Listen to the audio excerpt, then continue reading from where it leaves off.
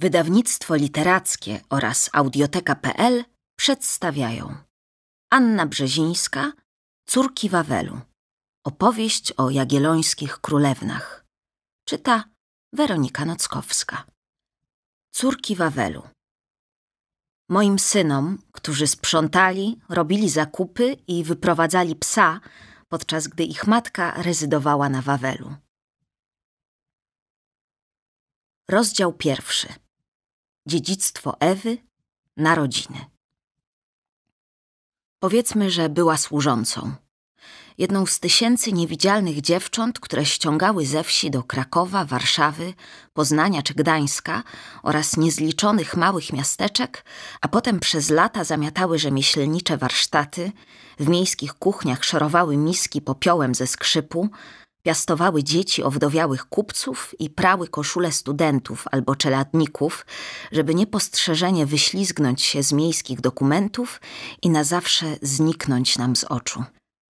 Pragnienie lepszego życia gnało je niekiedy z daleka, więc służąca przywędrowała aż spod Nowego Targu i zbliżyła się do królewskiego miasta Krakowa od strony Bramy Floriańskiej – spocona, umorusana od pyłu i śmiertelnie utrudzona podróżą. Pęknięty chodak otarł jej stopę do krwi i najchętniej przysiadłaby na przydrożnym kamieniu, nawet nie żeby odpocząć, ale dać upust łzom i użalić się chwilę nad sobą. Nie było jednak o tym mowy. Towarzysze podróży, trzech krzepkich parobków z jej rodzinnej wsi i dwie niezamężne wieśniaczki szukające zajęcia poganiali ją bezlitośnie. Ich zapasy wyczerpały się już dwa dni temu, więc na poprzednim postoju posilili się kradzioną kurą, zresztą ku zgrozie służącej, która była uczciwą, bogobojną dziewczyną. Chcieli dotrzeć do celu przed zmierzchem, zanim pachołkowie zamkną bramy i oddadzą miejskie klucze burmistrzowi. Inaczej czekaliby pod murami do rana, najpewniej w jakimś opuszczonym szałasie albo przy ognisku pod gołym niebem. Bogatsi podróżni mogli się zatrzymać w domu gościnnym albo w jednej z gospod, które przedsiębiorczy mieszkańcy kleparza wznieśli za murami dla takich właśnie zapóźnionych przyjezdnych ale wędrowni robotnicy i wiejskie dziewki nawet nie myśleli o takim zbytku. Powiedzmy, że miała na imię Regina. Wyposażona w koszulę na zmianę, chustkę, dwa kawałki płótna, pasek, odziedziczony po matce cienki pierścionek ze srebra oraz kilka drobnych monet zawiniętych w czystą szmatkę, zagłębiła się w trzewia miasta. Wewnątrz murów wszystko wydawało jej się za duże, zbyt intensywne. Nadmiar ludzi, kamiennych domów, nieznanych woni przerażał i oszałamiał, lecz posłusznie dreptała za Agnieszką. Starszą dziewczyną, która już wcześniej chadzała do Krakowa na służbę i obiecała umieścić Reginę w dobrym domu, gdzie będą ją karmić do syta, obstalują jej buty i wypłacą godziwe myto, czyli wynagrodzenie za pracę. Może nawet dziesięć florenów rocznie. Rozmyślała z niepokojem, bo nie wiedziała dokładnie, o ile powinna poprosić. Za dużo, niedobrze, ale za mało, bodaj jeszcze gorzej. Kiedy jednak przyszło co do czego, długo stukały od drzwi do drzwi, prosząc o służbę. Na darmo. Nikt nie pamiętał Agnieszki. Nikt też nie chciał przyjąć do posługi obcej, nędznie przyodzianej dziewczyny. Gdy więc wreszcie wpuszczono je do jakiejś sieni, Regina ledwo potrafiła się odezwać. Zgodziłaby się zostać tu nawet za darmo. Taka ją przepełniała ulga, że nie będzie się dłużej błąkać w ciemności pełnej niespokojnych duchów i złoczyńców. Dlatego to Agnieszka, jako bardziej wymowna i obyta, targowała się o jej myto z mistrzem Bartłomiejem – owdowiałym słodownikiem i właścicielem sporego, acz cichego już o tej porze domostwa przy ulicy Szczepańskiej, nieopodal muru miejskiego. Na końcu uściskała krajankę i prędko umknęła ku swoim sprawom, nie omieszkawszy jednak schować kilku monet, które gospodarz wcisnął jej w dłoń w podzięce za pośrednictwo. I tak Regina została z obcym, czarnowłosym mężczyzną, który na rok zgodził się być jej chlebodawcą i opiekunem. Następnego ranka dowiedziała się, że zgodzono ją na izdebną. Miała sprzątać w sieni i pokojach na obu piętrach kamienicy, zamiatać podwórze i ulice wzdłuż domu do połowy rynny granicznej, jak ją skrupulatnie objaśniła starsza służąca. Bo w domu była też krępa, ciemnowłosa dziewczyna o imieniu Kachna, która jako bardziej zaufana piastowała córeczki mistrza Bartłomieja i wypełniała jego osobiste polecenia. Gospodarz kilka lat temu wykupił ją od żołnierzy wracających z wojennej wyprawy i trzymał bardziej jako niewolnicę niż wynajętą pomoc. Poza nimi w domostwie rezydowali również dwaj czeladnicy i mały uczeń, trudzący się przy słodzie. No i oczywiście mistrz Bartłomiej. Z nim jednak Regina nie przestawała zbyt wiele. Zresztą nigdy nie była szczególnie śmiała ani skłonna do pustych rozmów. Jedynie przy córeczkach mistrza, Zofijce i Anulce, czuła się swobodniej. Może dlatego, że i ją wcześniej odumarła matka. Dopiero po paru tygodniach zaczęła się swobodniej wypuszczać do miasta. Zwykle w sprawunkach wyręczała ją kachna, która umiała się sprytnie wykręcić od domowych obowiązków, po czym chowała się pod okapem, żeby plotkować z achtelenkami, czyli posługaczkami rozwożącymi po mieście beczki z piwem, albo biegła z pytaniem do młyna czy innym zleceniem piwowara. Najdłużej schodziło jej w wyszynku. Potem wracała zadowolona, opita piwem jak bąk, a bywało, że i z napiwkiem wyłudzonym od podchmielonych głupców. Czasami Regina pomagała Kachnie w opiece nad dziećmi i sprawunkach. Brały z dziewczynkami kosze i szły we trzy na rynek, pomiędzy kramy pełne najróżniejszych pokus. Krakowski rynek w początkach XVI wieku zdumiewał bogactwem nawet Mikołaja Reja, znacznie bardziej bywałego niż Regina, który w żywocie człowieka poczciwego uwiecznił uniwersum krakowskiego handlu. Jedna przekupka oferuje smażone kiełbaski, pisał, druga galarety, trzecia pieczoną wątrobę z octem i cebulką. Baby zachwalają wieloraki towar, wyroby z żelaza, płótno, barchan, gwoździe i najrozmaitsze przyprawy. Biegają po rynku i okolicznych ulicach, pokazując a to opłatki z niekwaszonego ciasta, a to wieńce, a to jakąś czerwoną maść. Na straganach wyłożono obfitość wszelakiego dobra – kasze, śledzie, masło, świece, szklanki, jabłka, bułki, buty, ryby, żur, barszcz, ogórki i inne warzywa. Kto by to wszystko zliczył? Dziwował się pierwszy mistrz literackiej polszczyzny. Łatwo się było wśród tych wszystkich wspaniałości zagubić, jeszcze łatwiej dać oszukać. Regina doświadczyła tego już za pierwszą bytnością na targu rybnym. Przekupka zagadała ją, zachwyciła się urodą i grzecznością dziewuszek, dała im garść orzechów i tak się przypochlebiła Reginie, biorąc córki mistrza za jej własne, że służąca nawet nie śmiała prostować. Otumaniona, nie wiedząc co oznaczają oberżnięte płetwy, kupiła wczorajszą rybę w cenie świeżej, a na dodatek nie dorachowała się reszty. Tamtego dnia dowiedziała się czegoś nowego o swoim chlebodawcy. Otóż mistrz Bartłomiej był człowiekiem skrupulatnym i surowym. Najpierw wypłacił Reginie każdego zapomnianego miedziaka kijem po grzbiecie, a potem zasadził się z czeladnikami na wracającą do domu handlarkę.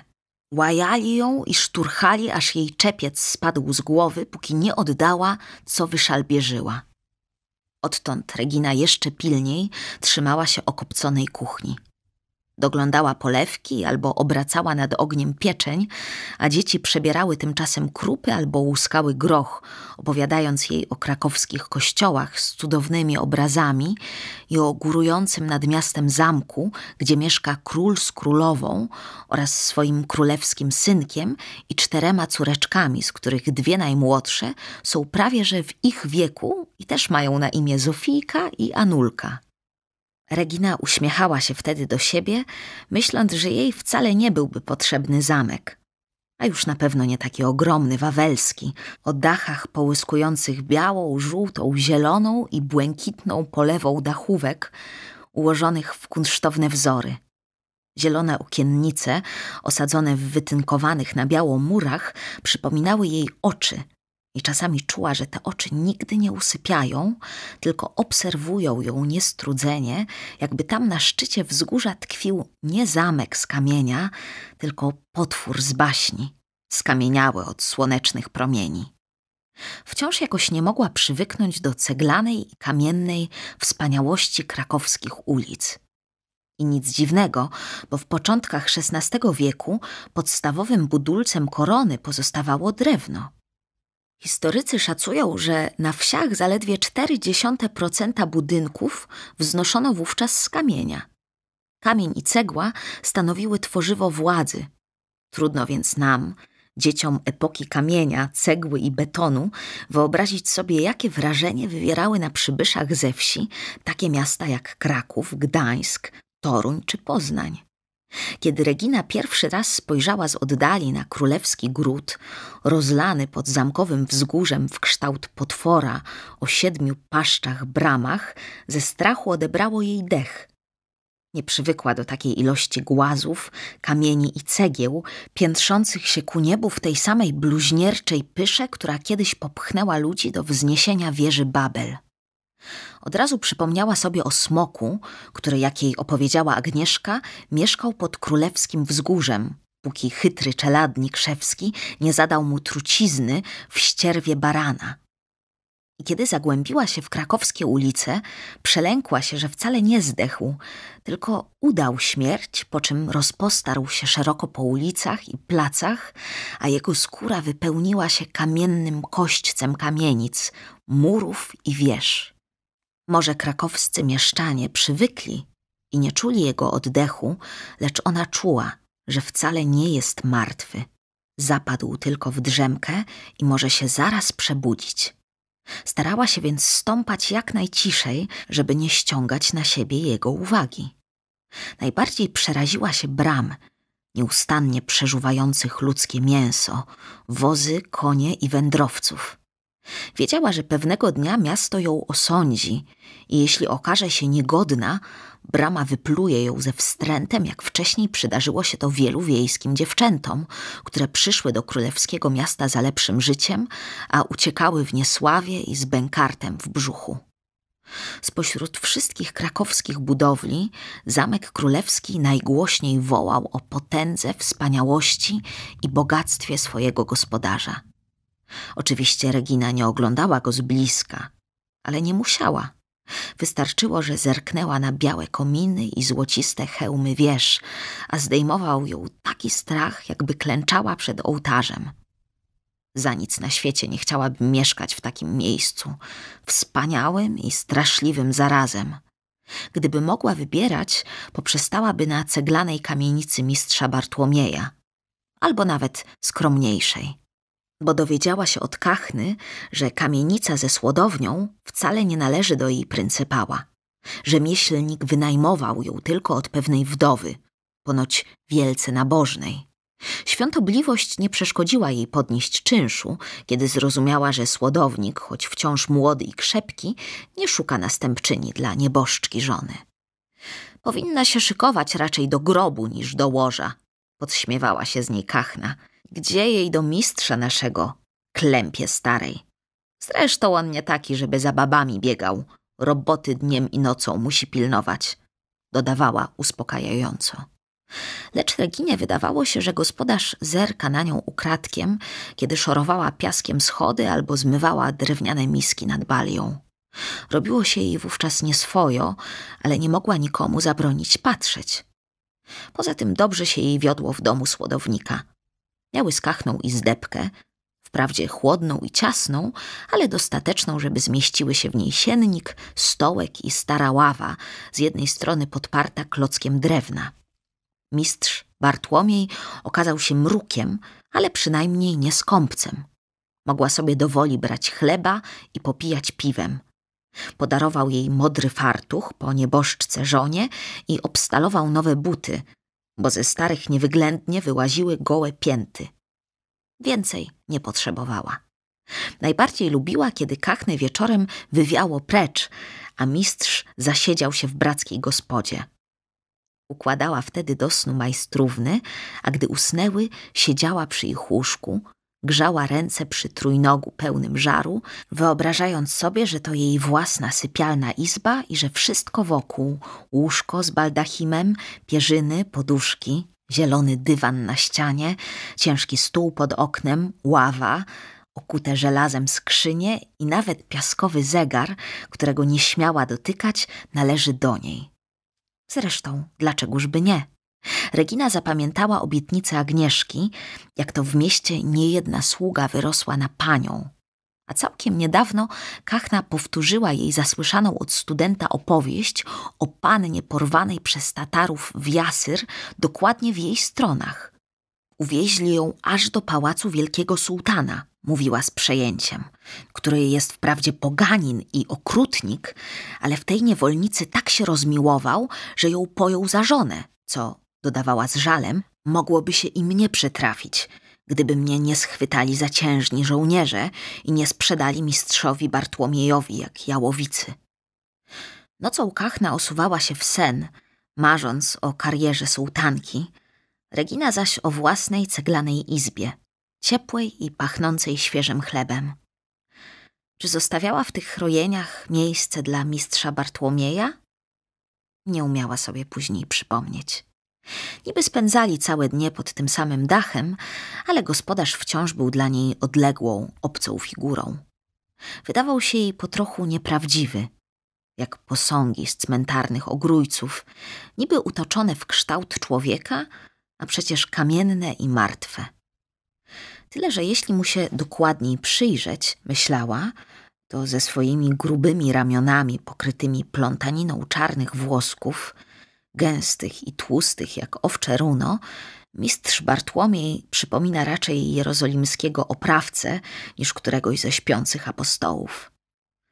Sama nie wiedziała, skąd nachodziły ją takie myśli i potem wstydziła się, że niesprawiedliwie osądza pracodawcę, bo poza tym jednym laniem, na które rzetelnie wszak zasłużyła, nie wyrządził jej nic złego. Owszem, był burkliwy i ponury, ale wiedziała, że wdowcy często gorzknieją, kiedy im zabraknie dobrej towarzyszki. Poza tym pracował ciężko, nieomal ponad miarę, bo pomocnikom nie skąpił zajęć, ale do najcięższego brzemienia przyprzęgał się sam i ciągnął jak wół jarzmo bez wytchnienia. Od słodowni Regina trzymała się jak najdalej. Nie żeby ktoś jej zakazał tam chodzić. Zaraz na początku jej służby, kiedy wszystko było jeszcze niepokojąco nowe, Kachna wzięła ją za rękaw i oprowadziła po tym dziwnym budynku. Pokazała piwnicę z wielkim drewnianym korytem, gdzie moczono i mieszano ziarno, i rostownie, gdzie trzeba je było delikatnie przewracać i mieszać, kiedy kiełkowało, a na końcu ogromny piec ze specjalnymi rusztami, zwanymi lasami. Regina wszystkiemu się uprzejmie przyjrzała, po czym pochwaliła niezwykłe umiejętności gospodarza – bo to wszak wielka sztuka przerabiać pszeniczne ziarno na słód do ważenia piwa, a następnie spiesznie umknęła do kuchni. Niby nie zobaczyła nic strasznego, ale jakoś brakło jej serca do słodowniczej sztuki. Może zawinił piec, bezustannie mielący w gębie czerwony żar? Może uwijający się przy robocie, rozdziani do pasa czeladnicy, którzy wprawdzie nie ośmielali się jej zaczepiać, ale patrzyli bezczelnie i za plecami mistrza Bartłomieja czynili nieobyczajne gesty. A może woń suszonego ziarna, słodka i kwaśna zarazem, a przez to dziwnie odpychająca. Na szczęście nikt jej później tam nie naganiał. Zaszczyt sprzątania w słodowni przypadał kachnie – starszej i bardziej doświadczonej, a wywiązywała się z tego obowiązku równie opieszale i niedbale jak ze wszystkich innych. A kiedy Kachna znikała na całe dnie, swoją robotę utrzymanie porządku na posesji, sprawunki, gotowanie i opiekę nad dziećmi zostawiała Reginie. Nie buntowała się jednak. Już jako dziecko pomagała w obejściu, niańczyła rodzeństwo, zbierała w lesie grzyby i jagody i pasała gęsi. W parę lat po matce odumarł ją także ojciec. Najstarszy brat z bratową przyjęli rodzeństwo pod swój dach, ale odtąd żyło się jej trudniej. Nie krzywdzili jej. Po prostu w chałupie z każdym rokiem przybywało latorośli i trosk. Gdy tylko Regina skończyła czternaście lat, bratowa jęła przebąkiwać o mieście i służbie. Nie, nikt jej nie wyrzucił, nikt nawet nie dokuczył. Sama czuła, że przyszedł czas, żeby iść gdzieś dalej, jeżeli nie chciała się zeschnąć jałowo, piastując cudze dzieci i ważąc cudzą strawę. A komorniczka Agnieszka była taka wymowna i tak pięknie opowiadała o złotym królewskim mieście, że Regina, chociaż nieco przestraszona własną śmiałością, dała się znęcić. Nigdy nie udało się jej dojrzeć Agnieszki w tłumie na rynku ani przed ołtarzem, chociaż wypatrywała jej bacznie, kiedy w niedzielę wypuszczała się dalej z ulicy Szczepańskiej i zachodziła do coraz to nowych kościołów. Bywała nawet w farze wypiętrzonej prosto ku niebu przedziwną, nieczystą wręcz sztuką. Spoglądała w górę i duszno się jej robiło od mnogości kamieni nad głową, od pozłoty i witraży łowiących w kolorową sieć światło. Ale kazań nie rozumiała. Po mszy razem z innymi z pospólstwa szła na cmentarz i tam słuchała kaznodziejów. Usadowieni w kamiennych gniazdach ambon wyglądali jak bociany, ale mówili swojsko, po polsku, podczas gdy w farnym kościele rozbrzmiewała harda Niemczyzna bogatego patrycjatu. Po nabożeństwie mieszczanie rozlewali się wielobarwnym potokiem w miasto, opasane podwójnym murem z basztami, bramami i fortyfikacjami i oblane rzeką rudawą, która obracała liczne młyny i folusze. Czeladnicy mistrza Bartłomieja często chadzali za mury, zwabieni tanim piwem i przygodami z niecnymi panienkami, a czasami musieli również biec tam do młyna, gdzie mielono słód. Oprócz młynów na przedmieściach było wiele innych warsztatów, zwłaszcza tych, co bardziej smrodliwych, farbiarni, bylichów do bielenia płótna, topni wosku czy ołowiu, słodowni, browarów, szlifierni, cegielni, warsztatów kamieniarskich, garncarskich czy papierni. Regina tylko w części rozumiała ich użyteczność, ale wcale jej nie korciło, żeby przejść się po podkrakowskich błoniach i z bliska przekonać, czemu owe warsztaty służą. Za bardzo się bała. Z rzadka tylko ulegała ciekawości i szła ku bursom szkolarzy pod dwór biskupi czy ratusz. Wciąż jednak gubiła się w plątaninie ulic i jeśli nie była wystarczająco ostrożna, trafiała pod mury miejskie, gdzie w zrujnowanych wieżach gnieździły się ladacznice.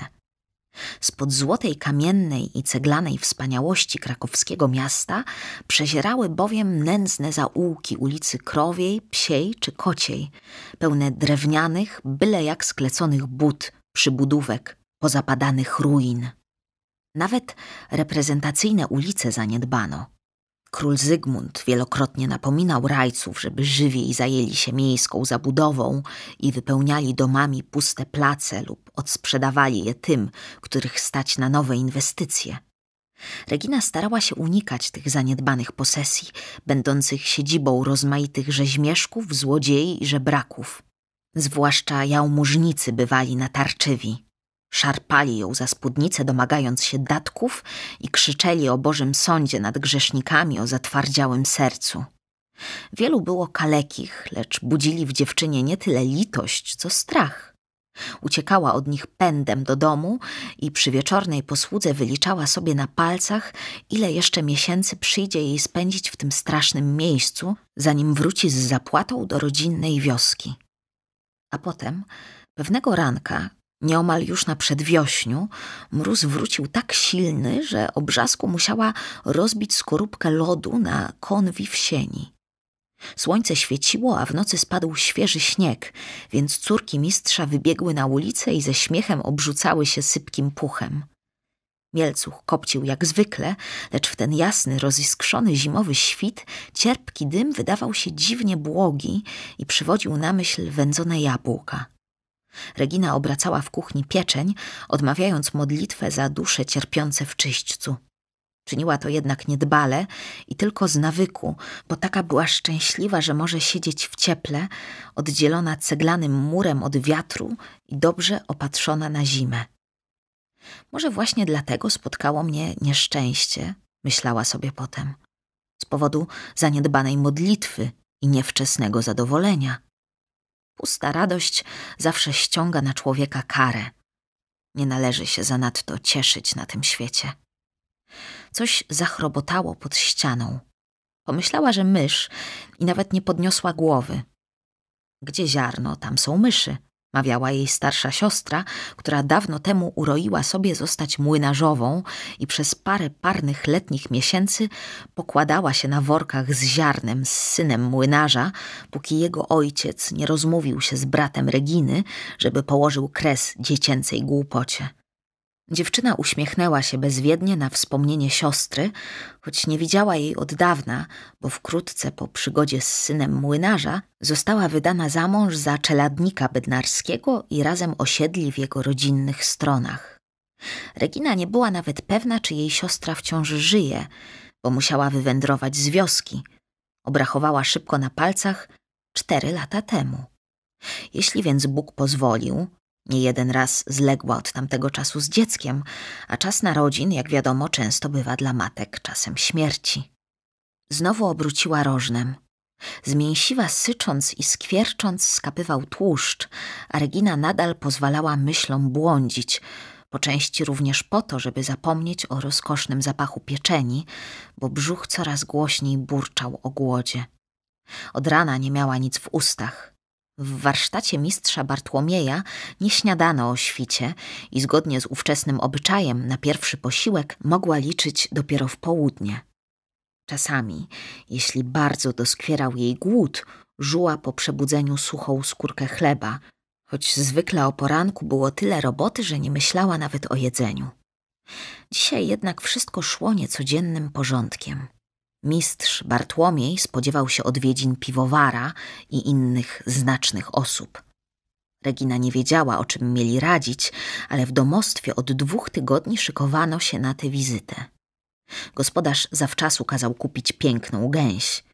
Utuczyła ją starannie kluskami, co okazało się niełatwą sztuką, bo oporne ptaszysko syczało, szczypało i dławiło się, ani chybi w przeczuciu rzezi. Jednak ostatecznie wszystko udało się świetnie.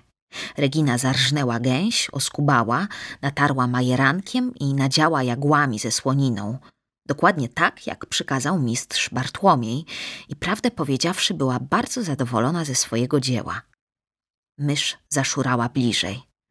Trzeba będzie dostać tego nieroba kota. Zdążyła jeszcze pomyśleć. Nie lubiła szarego kociska, które trzymano w słodowni do ochrony przed gryzoniami.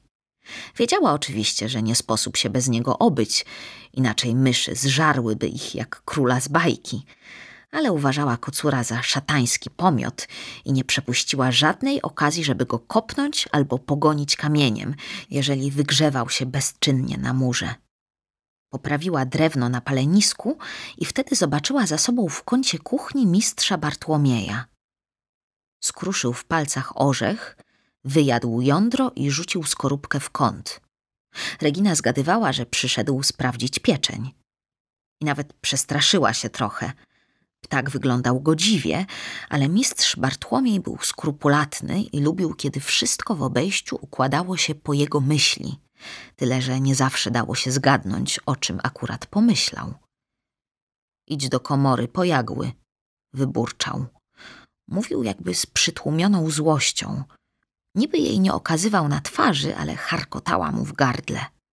Podniosła się posłusznie, chociaż poczęstunek został dawno temu obmyślony, ustalony i naszykowany, więc nie wiedziała na co komu jagły. Poza tym nie chciała spuścić z oczu gęsi. Mistrz Bartłomiej ruszył za nią, co było jeszcze osobliwsze. A kiedy oboje znaleźli się w komorze, w chłodnej ciemności przesyconej zapachem wędzonego mięsa, korzeni i jabłek, złapał ją mocno za kark i przycisnął do beczki. Krzyczała i próbowała się wyrywać. Wtedy uderzył jej głową w belkę, aż ją zamroczyło, a potem zatkał jej usta. Nie rycz, bo mnie takie już tu miał dziewczęta. Wysyczał jej do ucha, a wcale nie płakały. Regina jednak płakała, bo ją bolało i płakała również nad sobą, bo przecież nie takiego życia szukała w Krakowie. A mistrz sapał, bo chciał się tak uwinąć, żeby nie zmarnować gęsi i żeby się broń Boże na boku nie przypaliła.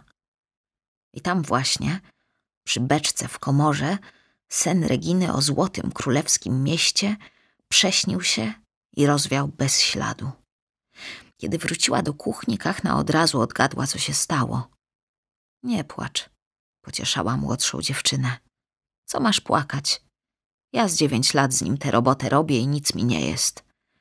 A tak chociaż dostaniesz odzienie i nowe buty. Ale Regina wciąż płakała i to tak strasznie, że mało jej oczy z rozpaczy nie wypłynęły. Wkrótce jednak nauczyła się tłumić łzy, bo w kilka dni później mistrz Bartłomiej przydybał ją rozszlochaną w kuchni, po czym najpierw dał jej kijem w plecy, że zaniedbuje robotę, a następnie popchnął do izby, rzucił nasiennik i znowu zrobił, co chciał. A nie śmiej nikogo wołać, zagroził, kiedy próbowała się szarpać i bronić, bo każe cię w wór zawiązawszy utopić. Po wszystkim poklepał ją po gospodarsku w tyłek, jak kobyłkę i kazał iść do komory napić się piwa.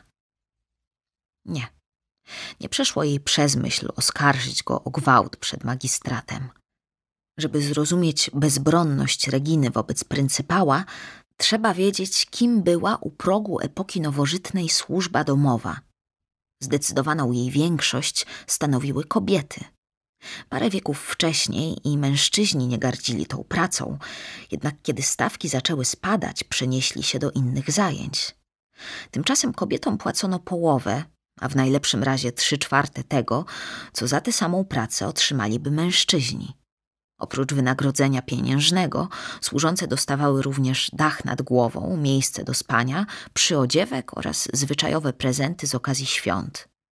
Służba domowa stanowiła ogromną część, bo szacuje się, że 10-30% wielokolorowego tłumu zaludniającego wczesno nowożytne miasta, lecz tylko nieliczni mogli sobie pozwolić na duży personel. W większości domostw trzymano zaledwie jedną lub dwie służące, wyręczające gospodarzy w najtrudniejszych domowych posługach. Ponieważ przestrzeń wewnątrz murów miejskich i w kamienicach była skąpa oraz kosztowna, służące najczęściej dzieliły życie swoich pracodawców. Jadły i spały w tych samych pomieszczeniach, a czasami bardzo mocno wrastały w ich rodziny. Młodej, niedoświadczonej dziewczynie, a taka przecież była większość służących, kiedy przybywały do miasta, ów silny związek z pryncypałami dawał pewną gwarancję bezpieczeństwa. Przede wszystkim jako służąca mogła legalnie wejść do miasta, zamieszkać w nim, zarabiać na swoje utrzymanie, a niekiedy, choć płacono jej zazwyczaj nędznie, także oszczędzać na posag. Poza tym nie zawsze wyruszała w nieznane i do całkowicie obcych ludzi. Czasami pierwszą posadę narajała jej starsza siostra, kuzynka czy sąsiadka, która wcześniej zakotwiczyła się na służbie. Proboszcz polecał ją zaufanym mieszczanom lub rodzice oddawali pod opiekę krajanom osiadłym w mieście.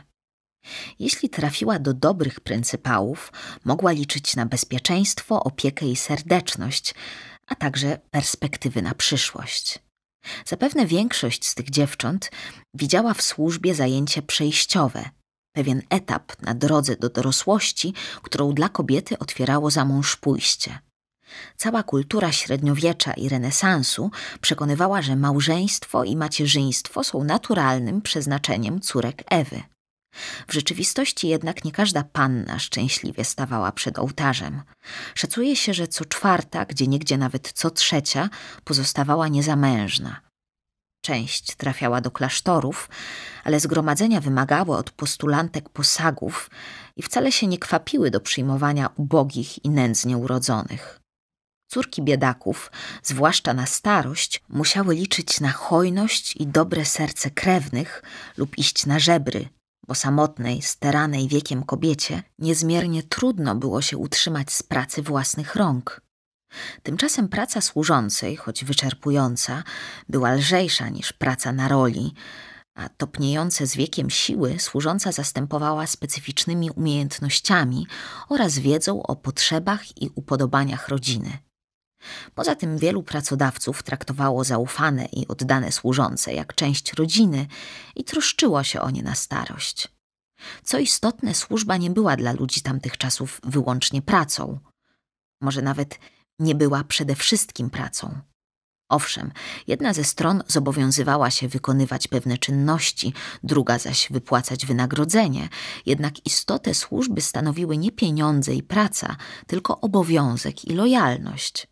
W XVI wieku definiowano ją przede wszystkim jako powinność i emocjonalną relację pomiędzy panem, który obiecywał lub przynajmniej powinien to czynić, bo w praktyce różnie bywało, opiekę i wsparcie, a sługą, który rewanżował mu się wiernością i oddaniem. Ten sposób myślenia przesycał całe ówczesne społeczeństwo, bo służba była doświadczeniem powszechnym i obejmującym wszystkie warstwy społeczne. Na różnych etapach życia każdy bywał panem albo sługą, a czasami i jednym i drugim. Na służbę posyłano nie tylko córki i synów najuboższych. Także latorośle arystokracji, już w kolebce wyposażone w świetne koligacje, tytuły i bogactwo, trafiały na dwór krewnych lub nawet samego króla, żeby służąc jako paziowie, dworzanie czy panny z fraucymeru, nabrać ogłady, nawiązać korzystne znajomości, zdobyć potężnych protektorów. Nie traktowano ich z tym samym okrucieństwem, co dzieci biedoty. Nie przymierały głodem, ani nie chodziły boso, lecz również doświadczały rozłąki z najbliższymi i całkowitej zależności od obcych. Przez kilka lat posłuszeństwo stawało się dla nich najwyższą cnotą. Musiały bez szemrania wykonywać polecenia, znosić nagany i kary fizyczne, na rozkaz kłaść się do snu oraz siadać do stołu. Służba miała również niebezpieczną ciemną stronę. Najmując się, sługa tracił część wolności i odtąd podlegał panu tak samo, jak kobiety i dzieci podlegały mężowi i ojcu.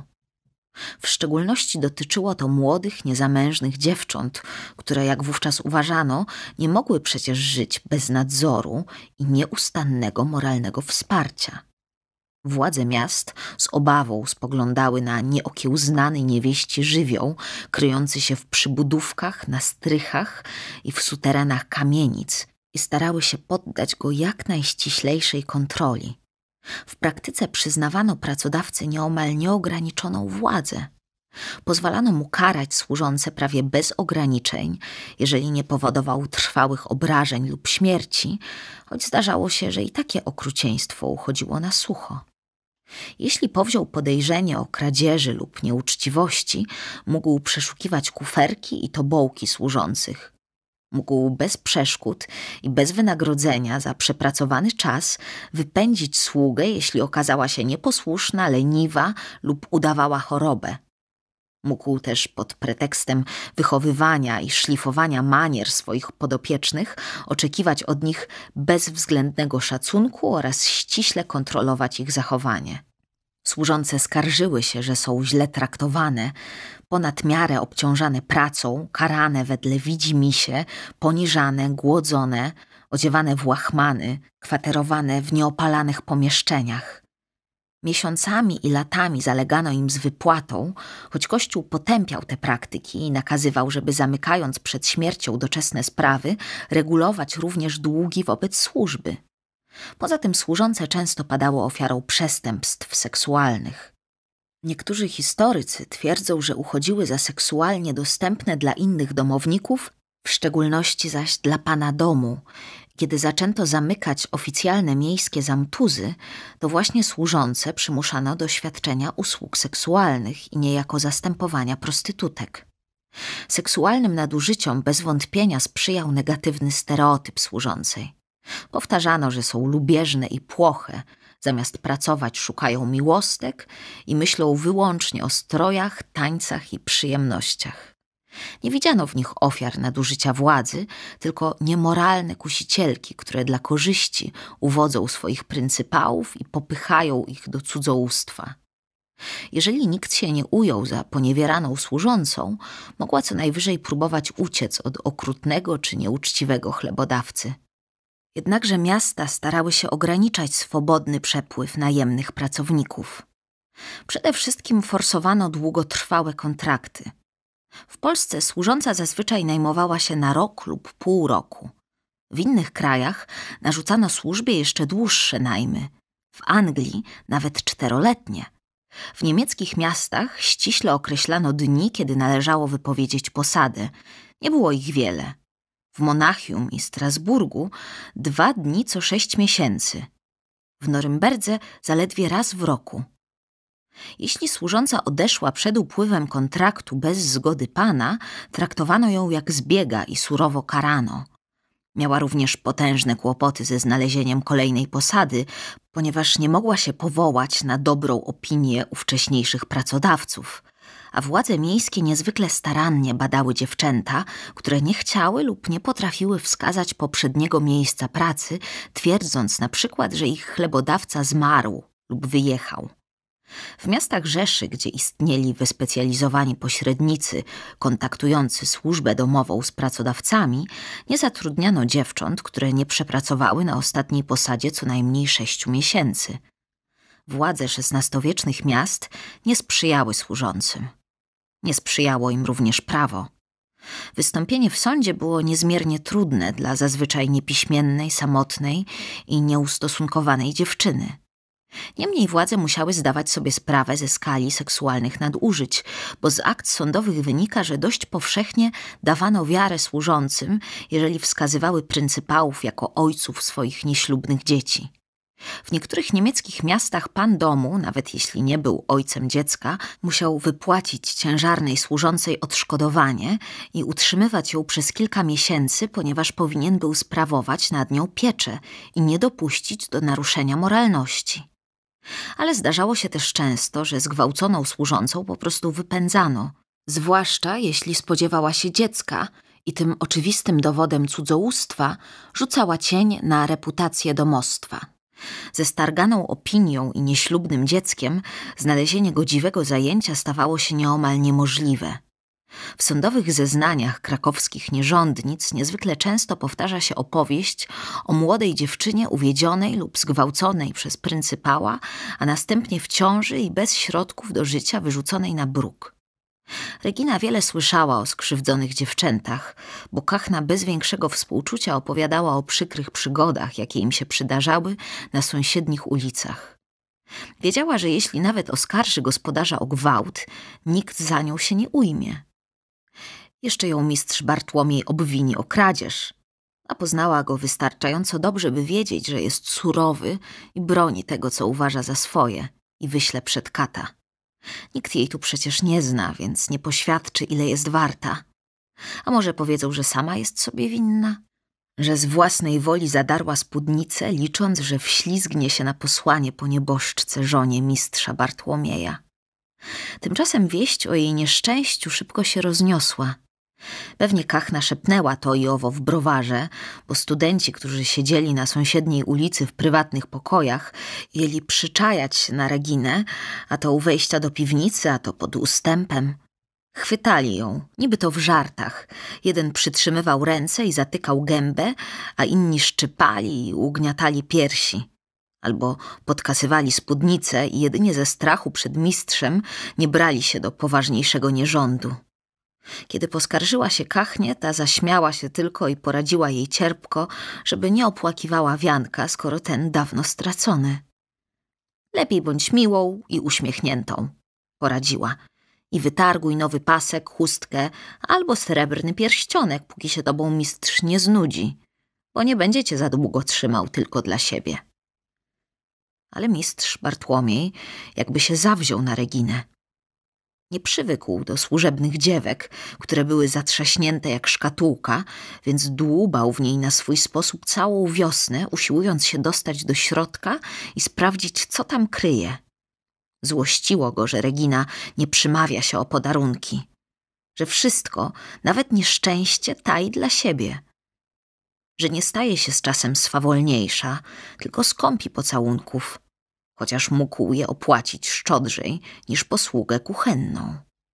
Czasami nachodziła go myśl, żeby jej się przypochlebić albo ją przekupić. Może wtedy nie obnosiłaby się po obejściu taka blada i wyschnięta ze zgryzoty. Ale zaraz potem chwytał go gniew, że to tylko sługa, Ciągnął ją wtedy na bok w zakamarki obejścia, szarpał i groził, że jeśli nie będzie powolna, użyczy jej czeladnikom albo pijanicom w piwnicy i każdemu, kto się napatoczy, oskarży ją o złodziejstwo i odda katu na służbę do zamtuza. Dlaczego tak robił? Bo coś go w jasnowłosej wieśniaczce kłuło i uwierało. Gdyby umiał dokładniej w sobie wymacać i nazwać ten niepokój, powiedziałby, że Regina przemyka się obok niego tak obojętnie, jakby go wcale nie było. A mistrz Bartłomiej nie przywykł, żeby go nie zauważano. Przeczuwał mętnie, że nieuwaga dziewczyny uwłacza mu i odejmuje powagi. Z zuchwałością, niechlujstwem albo złodziejstwem umiałby sobie poradzić. Wszak groźby, którymi straszył Reginę, nie były zupełnie wydumane. Jednak na nieuwagę nie miał sposobu i to go złościło najbardziej. Nawet Kachna nie umiała go udobruchać. Jakoś na wiosnę, po prawie pół roku służby, Regina zaczęła się obawiać, że nosi w sobie dziecko. Długo nie była pewna, Niby wezbrały jej piersi, ale brzuch wcale nie rósł, choć według miary popełnionych grzechów powinien już być jak melon. Nie wyczuwała poruszeń dziecka. Nie miewała nagłych płaczów, boleści w krzyżu ani rannej słabości. Popuszczając spódnicę i koszulę, łudziła się, że to z dostatku. Bo mistrz Bartłomiej, chociaż w innych rzeczach surowy, lubił dobrze jadać i nie skąpił służbie. Raz na tydzień kazał Reginie kupować słynny pszenny chleb z opatowca, a w co większe święta również słodkie ciastka na jajach i maśle. Dlaczego się bała? W początkach XVI wieku macierzyństwo stanowiło najbardziej powszechne kobiece doświadczenie, zrównujące matki wszystkich stanów, konfesji i narodowości. W kościołach wciąż rozbrzmiewały słowa świętego Pawła, który w pierwszym liście do Tymoteusza napisał, że kobiety są zbawiane przez rodzenie dzieci. Ale chociaż macierzyństwo stanowiło kobiecą ścieżkę do świętości, grzech Ewy naznaczył je strachem i cierpieniem. Dawne macierzyństwo wymagało heroizmu, co z niezwykłą siłą przebija z pism średniowiecznych mistyczek, które poprzez cielesną metaforykę macierzyństwa opisywały doświadczenie mistyczne i w bólach porodu widziały współuczestnictwo w męce i ukrzyżowaniu Chrystusa. Z kolei Erasm z Rotterdamu, niderlandzki filozof i bodajże najbardziej wpływowy intelektualista epoki, w Nowej Matce znamiennie porównał rodzącą do żołnierza – Oboje wszak potrzebują odwagi i siły i oboje ocierają się o śmierć. Komnata porodowa często stawała się grobowcem. Wedle szacunków nawet co trzecia, czwarta matka umierała z powodu komplikacji okołoporodowych i zaledwie co trzecie dziecko dożywało dwudziestych urodzin. Lecz pomimo grozy porodu, dzieci uważano za dowód Bożej łaski – Teologiczne autorytety epoki zapewniały, że dzieci w pełni wynagradzają matkom cierpienia porodu, bo jak twierdził Bartłomiej Anglik, franciszkański teolog i encyklopedysta, im więcej żałości i smutku doświadczy matka podczas porodu, tym bardziej kocha dziecko. Poza tym dla chrześcijan każde narodziny stanowiły triumf nad śmiercią, a ten radosny, zwycięski aspekt macierzyństwa najpełniej uosabiała Maryja, która nosiła pod sercem Boga i stała się narzędziem zbawienia. Piękna, młodzieńcza panna z dzieciątkiem królowała w niezliczonych świątyniach chrześcijaństwa, przypominając kolejnym pokoleniom kobiet, że powinny jak niegdyś ona pokornie poddać się woli Boga i ofiarować mu swoje dzieci. Wcześniej Regina lubiła patrzeć na pyzate krakowskie dzieciątka, tulące się na obrazach do piersi matki i gestem dłoni wskazujące ją wiernym jako pośredniczkę w zbawieniu. Obiecywały dziewczynie, że kiedyś i ona zazna słodkiego trudu macierzyństwa. Teraz jednak mimowolnie omijała je wzrokiem, choć przecież wcale nie była pewna, że nosi w sobie nowe życie. Nie przyszło jej wszakże do głowy, żeby się upewnić u kachny – Tymczasem starsza służąca, widząc w Reginie wspólniczkę w łajdactwie, ośmieliła się bardzo. Bez skrępowania opowiadała o swoich niepoczciwych sprawkach. O tym, jak w szynku oszukuje pijaków na miarach, dopisuje im kreski na niewypite garnce, podbiera pieniądze z mieszków, a jeśli się trafia okazja, schodzi z nimi do małej piwniczki na wszeteczeństwo. W żartach podsuwała Reginie kawałki kosaćca, który jeśli przywiązać go pod spódnicą, zabija płód i wyciąga go z brzucha. Innego dnia tak hojnie doprawiła polewkę pietruszką, która według zielnika Szymona Syreniusza powoduje niepłodność, że mistrz Bartłomiej z wrzaskiem kazał ją wylać świniom. A kiedy szły po sprawunki na rynek, celowo kluczyła po ulicach, żeby mimochodem pokazać jej jakąś bramę. Babka tu siedzi, mówiła ze śmiechem, co daje ziela ladacznicom, żeby dzieci nie rodziły. Wszystko to działo się mimochodem i pozornie bez złej intencji, a jednak wydawało się Reginie nieopisanie plugawe. Budziła się niespokojna w środku nocy, czując na piersi ogromną ciężkość. Wprawdzie, kiedy zaczynała odmawiać pacierze, duszność podnosiła się z ociąganiem i uchodziła przez szpary w oknach, ale nisko przy podłodze pozostawał jakiś cień i nie rozwiewał się do świtu. Może nawiedzał ją zły duch. Martwiła się. Jeden z tych, które czyhają na grzesznice i potrafią podmienić ich nienarodzone dziecko na własne. A może coś jeszcze potworniejszego i bardziej zasiedziałego w świecie. W półśnie zwidywały jej się mętne smocze ślepia, zaglądające przez okienną błonę do izby, prosto na jej posłanie i słyszała szuranie smoczej łuski na ciemnym dziedzińcu. Bo przecież w tym mieście smoka nie zabił święty Jerzy. Na kościelnym obrazie krótkonogi i spowity w przykusą zbroję. Nie. Tutaj na rozprawę z potworem posłano czeladnika szewskiego – a po kilku miesiącach w tym wszetecznym mieście Regina wiedziała już, że wszyscy szewcy to kłamcy i dla sowitej nagrody zaprzedadzą nawet własną duszę.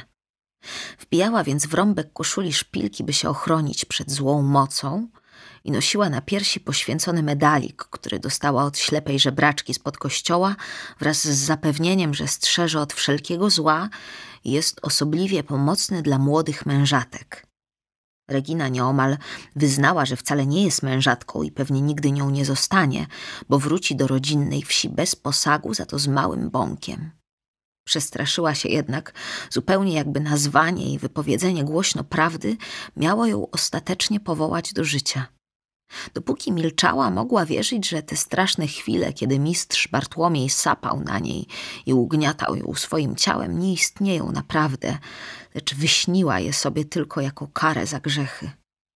Przychodziło jej to tym łatwiej, że było przecież równie wiele dobrych godzin i dni, kiedy bawiła się z Zofijką i Anulką, makowymi kukiełkami albo czyszcząc na kuchennym stole krupy z twardych nasion konkolu. Opowiadała im o świętej Małgorzacie, która pokonała smoka. I tak prześlizgiwała się przez każdy dzień, jak przez dziurkę od klucza, odliczając aż minie pół roku służby i wymknie się z domostwa słodownika, jakby jej nigdy nie było. A skoro pół roku minęło, wyczekała na dobry humor gospodarza i pewnego wieczoru, kiedy wrócił podchmielony z gospody, gdzie świętował jakąś udaną transakcję, zagadnęła go o zapłatę. O dziwo pokorna prośba dziewczyny rozjuszyła mistrza Bartłomieja. Owszem, dobił korzystnego targu, szumiało mu miło w głowie od wypitego piwa i brzęku przeliczanych monet. Ale zysk jedynie rozbudzał w nim łapczywość.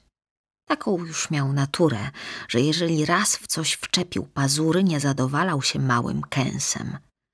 Nie lubił, kiedy zdobycz wysmykiwała mu się z rąk – choćby była nią służąca, którą prawdę powiedziawszy zaczynał się nudzić.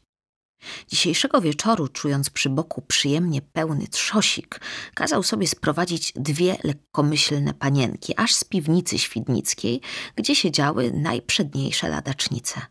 Popił, zatańczył, poswawolił do syta, a w każdym razie tak mu się zdawało, póki nie zobaczył na schodach Reginy.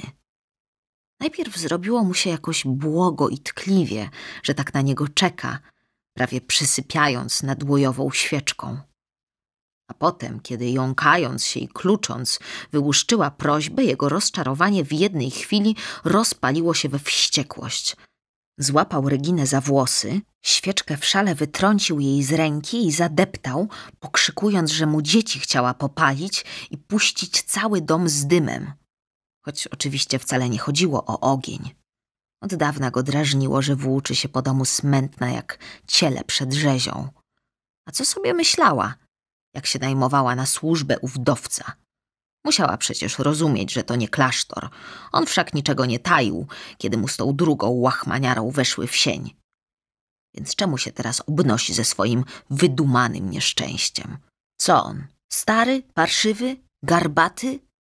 Głodem morzy? Powrozem do ławy wiąże? Siekierą po grzbiecie tłucze, jak się nieraz w innych domach zdarzało? No przecież nie. Kożuch jej na święta kupił, porządny, za półtora florena – i raz w tygodniu babę bierze do cięższych posług i prania, żeby miała wyrękę i żeby z dziećmi siedziała, skoro ją tak lubią. Przy rozlicznych swych wadach słodownik przepadał bowiem za córeczkami i rad by im nieba przychylić. Zresztą ich matkę nieboszczkę również szczerze kochał, mimo że nie przyniosła mu godziwego wiana, a jej kosztowała niemało, zanim przedwcześnie zgasła. Był jednak człowiekiem trzeźwym, kiedy go ogarniała rozpacz i tęsknota za żoną, kazał sobie krew puszczać albo dla większej oszczędności sam przykładał pijawki ukopane w rowie obok rudawki. Córki z rzadka przytulał, ale każdej niedzieli po mszy i sutym obiedzie zamykał się z nimi w sypialnej izbie i odmykał żelazną skrzynkę. Sadzał je na kolanach i razem przeliczali prześliczne grosze. Floreny, dukaty, regularnie odkładane na posag. W miarę jak monet przybywało, zmieniały się zamysły mistrza Bartłomieja i coraz wyżej mierzył w poszukiwaniu zięcia. Jeszcze niedawno podobali mu się synowie piwowarów i właścicieli młynów, byle dobrze uposażeni przez ojców, młodzi i postawni. Teraz jednak, skoro już się ułożył z wdową o wykup kamienicy, poczuł się pełną gębą panem i zerkał na potomków zasiedziałych kupców, a nawet rajców. Przed laty i mistrz Bartłomiej, jak wielu innych, przywędrował do królewskiego miasta i uiścił w ratuszu wpisową opłatę w wysokości jednej grzywny, żeby móc zgodnie z prawem praktykować słodownicze rzemiosło. Może w początkach swojej krakowskiej przygody wspaniałomyślnie odesłałby Reginę na wieś, wcisnąwszy jej w rękę skąpą sakiewkę, żeby sobie kupiła krowę, bo takie odszkodowanie wypłacano zwykle uwiedzionym, ciężarnym dziewczętom – z czasem jednak nauczył się po trzykroć oglądać każdy grosz, zanim go wypuścił z palców. Stwardniał, bo musiał. Piwowarzy zbiegali do Krakowa z całego kraju. W ciągu XVI wieku ponad 400 przyjęto do prawa miejskiego. W mieście istniało dobre sto browarów. Nieomal na każdej ulicy produkowano słód, czy to na użytek własny, czy na sprzedaż. Każdy rzemieślnik zerkał chytrze na konkurentów i czekał, aż się któremuś noga powinie. A czasami nawet przekupywał czeladników, żeby zepsuli ziarno. Właśnie dlatego mistrz Bartłomiej lubił brać do posługi wiejskie dziewki, potulniejsze i mniej obyte w miejscowych podstępach. Regina dotąd służyła mu dobrze, musiał przyznać. Nie podejrzewał jej o zdradę, lecz prośba o uwolnienie ze służby natychmiast obudziła w nim podejrzliwość. A może się zmówiła z konkurentem? Może weszła w niecną komitywę z czeladnikami i dowiedziała się, jak sprawdzać, czy ziarno zostało dobrze namoczone i ile razy zmieniać podczas moczenia wodę. A jeśli zechce wyjawić konkurentom, w jakiej proporcji miesza pszenicę z żytem i innymi zbożami, w tamtych czasach słód wyrabiano na różne sposoby i jak napisał w zielniku Syreniusz, jedni sycili go z najprzedniejszej pszenicy, inni z pszenicy zmieszanej z żytem albo z mieszaniny rozmaitych zbóż, a jeszcze inni z jęczmienia albo owsa. Mistrz Bartłomiej miał wiele tajemnic i pragnął je zachować w sekrecie, łącznie z drobnymi matactwami przy płaceniu podatków. Dlatego bez trudu przekonał sam siebie, że gniewa go wyłącznie nielojalność służącej, która pod błahym pozorem usiłuje się wyłgać z kontraktu. Zanim dokończył bicie, do którego miał prawo, bo odpowiadał za tę dziewczynę jak ojciec i mógł ją karcić do woli, był już przekonany, że sprawiedliwość stoi po jego stronie. A spróbój, że uciec, zagroził na koniec.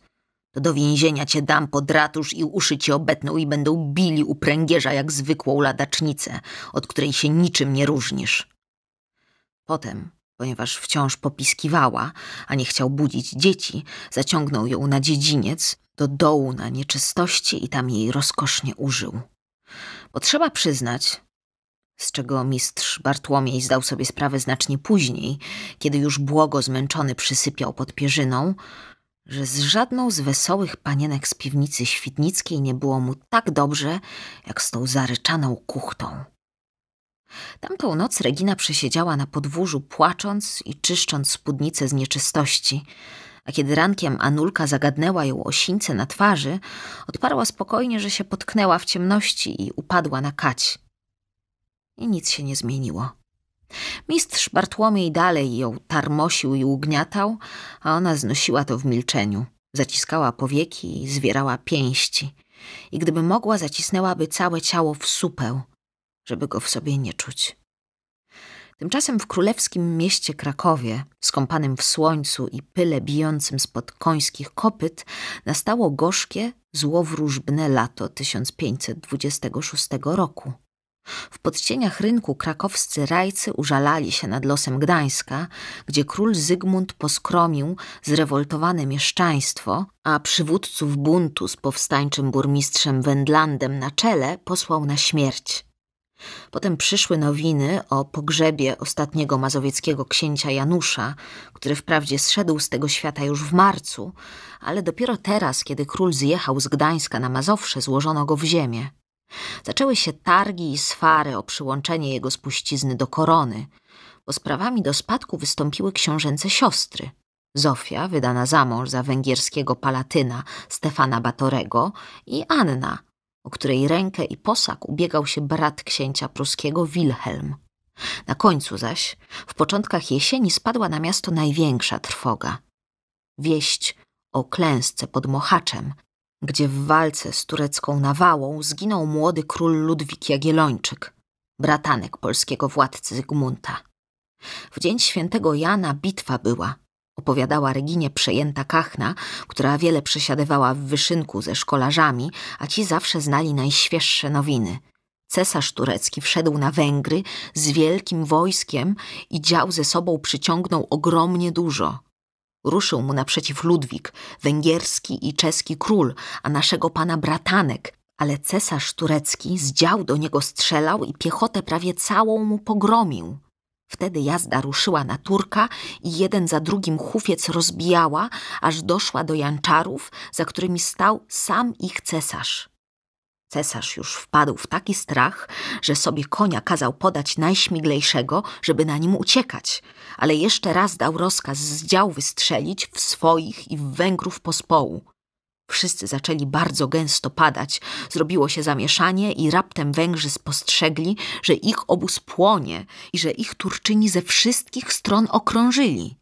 Rzucili się do ucieczki i w tym wielkim popłochu król Ludwik biegnąc ku Dunajowi w jakimś błotnistym wądole razem z koniem padł i tam go między trupami znaleziono. Roztkliwiając się nad losem młodziutkiego króla, Kachna nie wiedziała, że wraz z nim w błotnistej roztoce przeminęła chwała potężnych Węgier.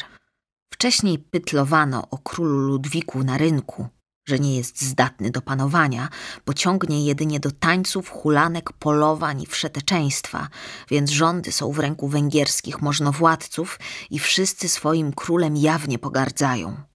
A po klęsce pod Mohaczem Ci sami, co uprzednio, nie szczędzili Ludwikowi najsurowszych obelg, wychwalali go jako męczennika.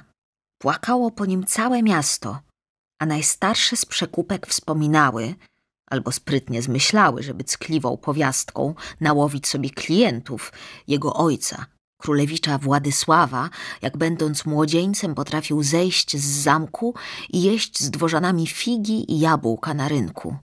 Takie to były kiedyś czasy – powtarzały kramarki, ale najrzewniej użalały się nad sobą, bojąc się, że rozzuchwaleni węgierską Wiktorią Tatarzy jeszcze śmielej ruszą w chrześcijańskie kraje i tym razem nie tylko poszarpią Litwę, ale pójdą na Pińsk, na Lublin, a może i na sam Kraków.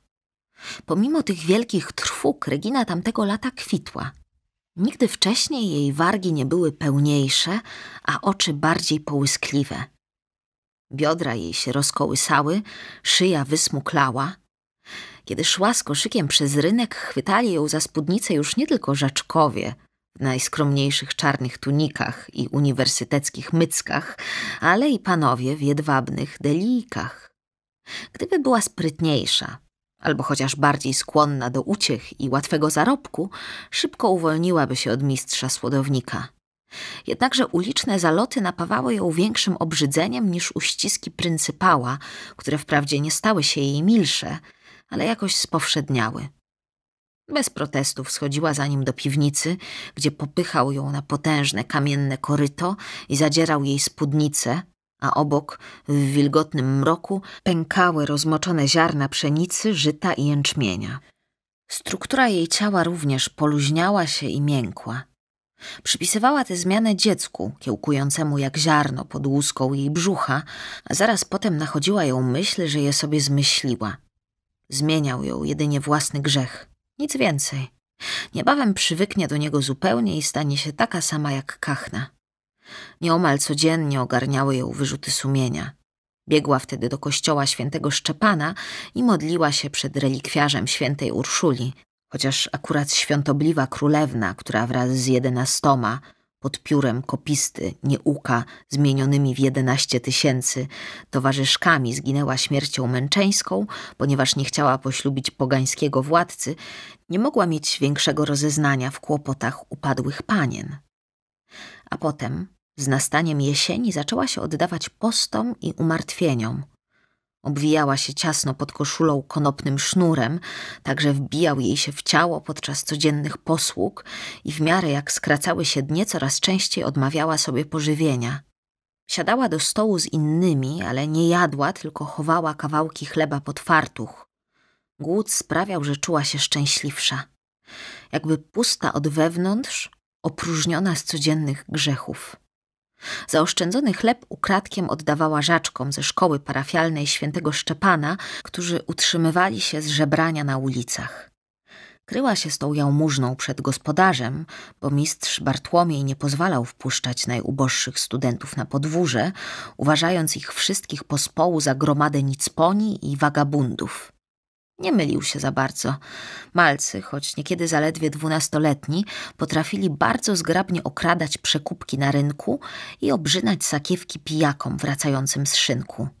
Nie stronili też od większej bijatyki i jeśli młodzież z innej szkoły zapędziła się podatki na teren ich parafii, wdawali się z nią w krwawe walki. W 1550 roku żaczkowie z czterech skłóconych parafialnych szkół, od świętej Anny, świętego Szczepana, od wszystkich świętych i od panny Marii przez dwie godziny pustoszyli rynek. Byli czupurni, pyskaci i skłonni do niecnych figli. Skrywali pod tuniczkami zakazane sztylety i znali wszystkie ladacznice w czterech krakowskich kwartałach, a jednak Regina dziwnie ich lubiła. Kiedy ze śmiechem i wrzaskiem obsiadali plac pod farą, przypominali jej stado wróbląt – Przyglądała się im z oddali, ale zachłannie, jakby mogła w ten sposób uszczknąć odrobinę ich wesołości.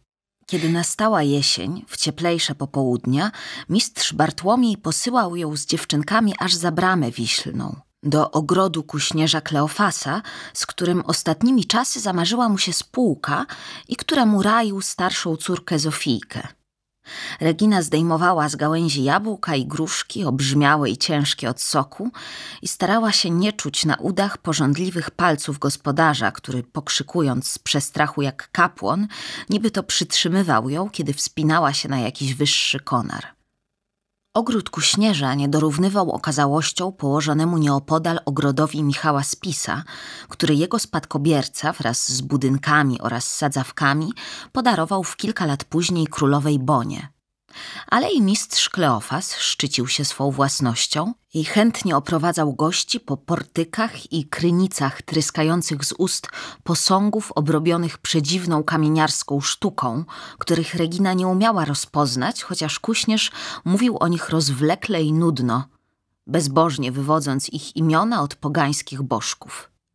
Prawdę powiedziawszy, Reginę przygnębiały bujna zieloność ogrodu, zgodnie z renesansowym zwyczajem ujęta w geometryczne karby, oraz bukszpanowe płotki i cyprysiki, które na polskim podkrakowskim gruncie stawały się rachityczne i wiotkie i na darmo wyciągały się ku słońcu, a ono nigdy nie rozpalało się tu żarem południowych krain. Nie śmiała się jednak wydać z niechęcią. Mistrz Bartłomiej jasno jej zapowiedział, że zależy mu na spowinowaceniu z kuśnierzem. Zobowiązał ją również, żeby jak najlepiej przyszykowała Zofię do tych wizyt, tak by dziewczynka pokazała się przyszłemu narzeczonemu zdrowa, rzeźka, wesoła i chętna do zamąż pójścia. Ale zdaniem Reginy mistrz Kleofas nie miał skłonności do zielonych jabłuszek. Może kiedyś w przyszłości zakrzątnie się wokół Zofijki – na razie jednak grzecznie obdarowywał córki słodownika konfektami. Były to cukrowe pigułki z korzeni, pokryte cienką pozłotą, które kupowało się w aptekach. Lecz sam myślał nie tyle o orzenku, ile o bliższych rozkoszach z ponętną służącą. Była zatem uprzejma, ale nie ośmielała go ani słowem i kiedy tylko napełniła kosze owocem, żegnała się i co prędzej umykała do domu. Wciąż była szczupła i wiotka i nadal nachodziła ją myśl, że wymyśliła sobie jedynie to dziecko, które czasami, zwłaszcza gdy leżała we śnie, muskało ją od środka lekko jak motyl. Za dnia nie wyczuwała go wcale, lecz mimowolnie czyniła wszystko, żeby się od niego uwolnić. Znała oczywiście sposoby, nie tylko te diabelskie, o których wspominała Kachna, ale też te pospolite, których była świadoma każda wieśniaczka – Ówczesne kobiety wyśmienicie wiedziały, czego się wystrzegać, żeby donosić ciążę.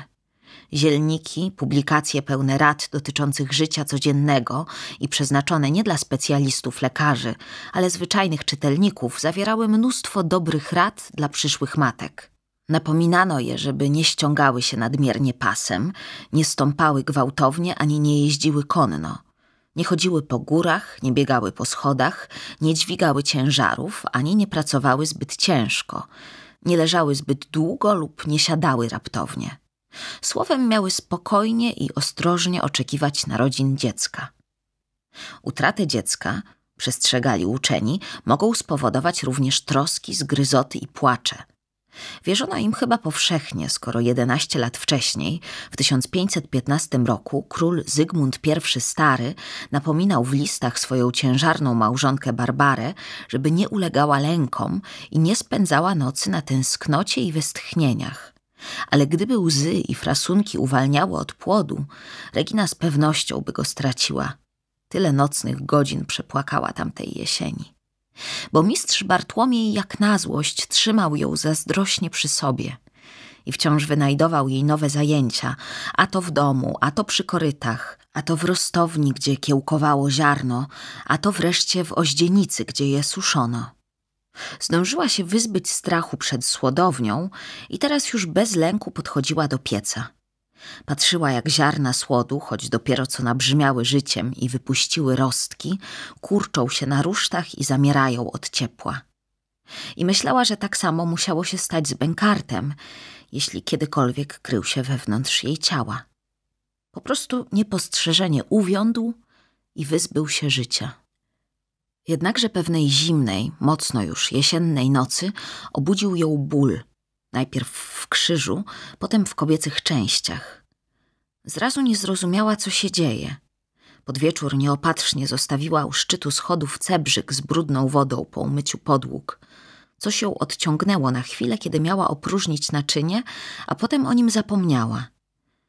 Tak się niefortunnie złożyło, że mistrz Bartłomiej, wracając utrudzony i na wpół śpiący z rostowni, wszedł w niego obiema nogami – Wodę rozlał, narobił hurgotu, sam się zląkł, a na dodatek pobudził córki. Skoro więc zrozumiał, że to nie demon z piekła rodem zasadził się na niego przed wejściem do sypialnej izby, gdzie nic się zdrożnego nie działo, bo mistrz Bartłomiej miał w poszanowaniu małżeńskie łoże, w którym niegdyś sypiał z nieboszczką żoną i spłodził obie córki, a swoje niecne uciechy sprawował zwykle w miejscach pośledniejszych – Zawezwał służącą, a potem wygrzmocił po krzyżu zaniedbalstwo. Regina nie miała mu właściwie tej reprymendy za złe, ale zasłaniała głowę i zawodziła pod niebiosa, żeby nie przeszło mu broń Boże przez myśl, że kara jest za lekka. Na szczęście mistrz odprawił ją szybko. Martwił się, nie szło mu ostatnimi czasy w robocie. Jak co roku zaczął z nastaniem przymrozków mieszać pszenicę z żytem dla osiągnięcia większego zysku.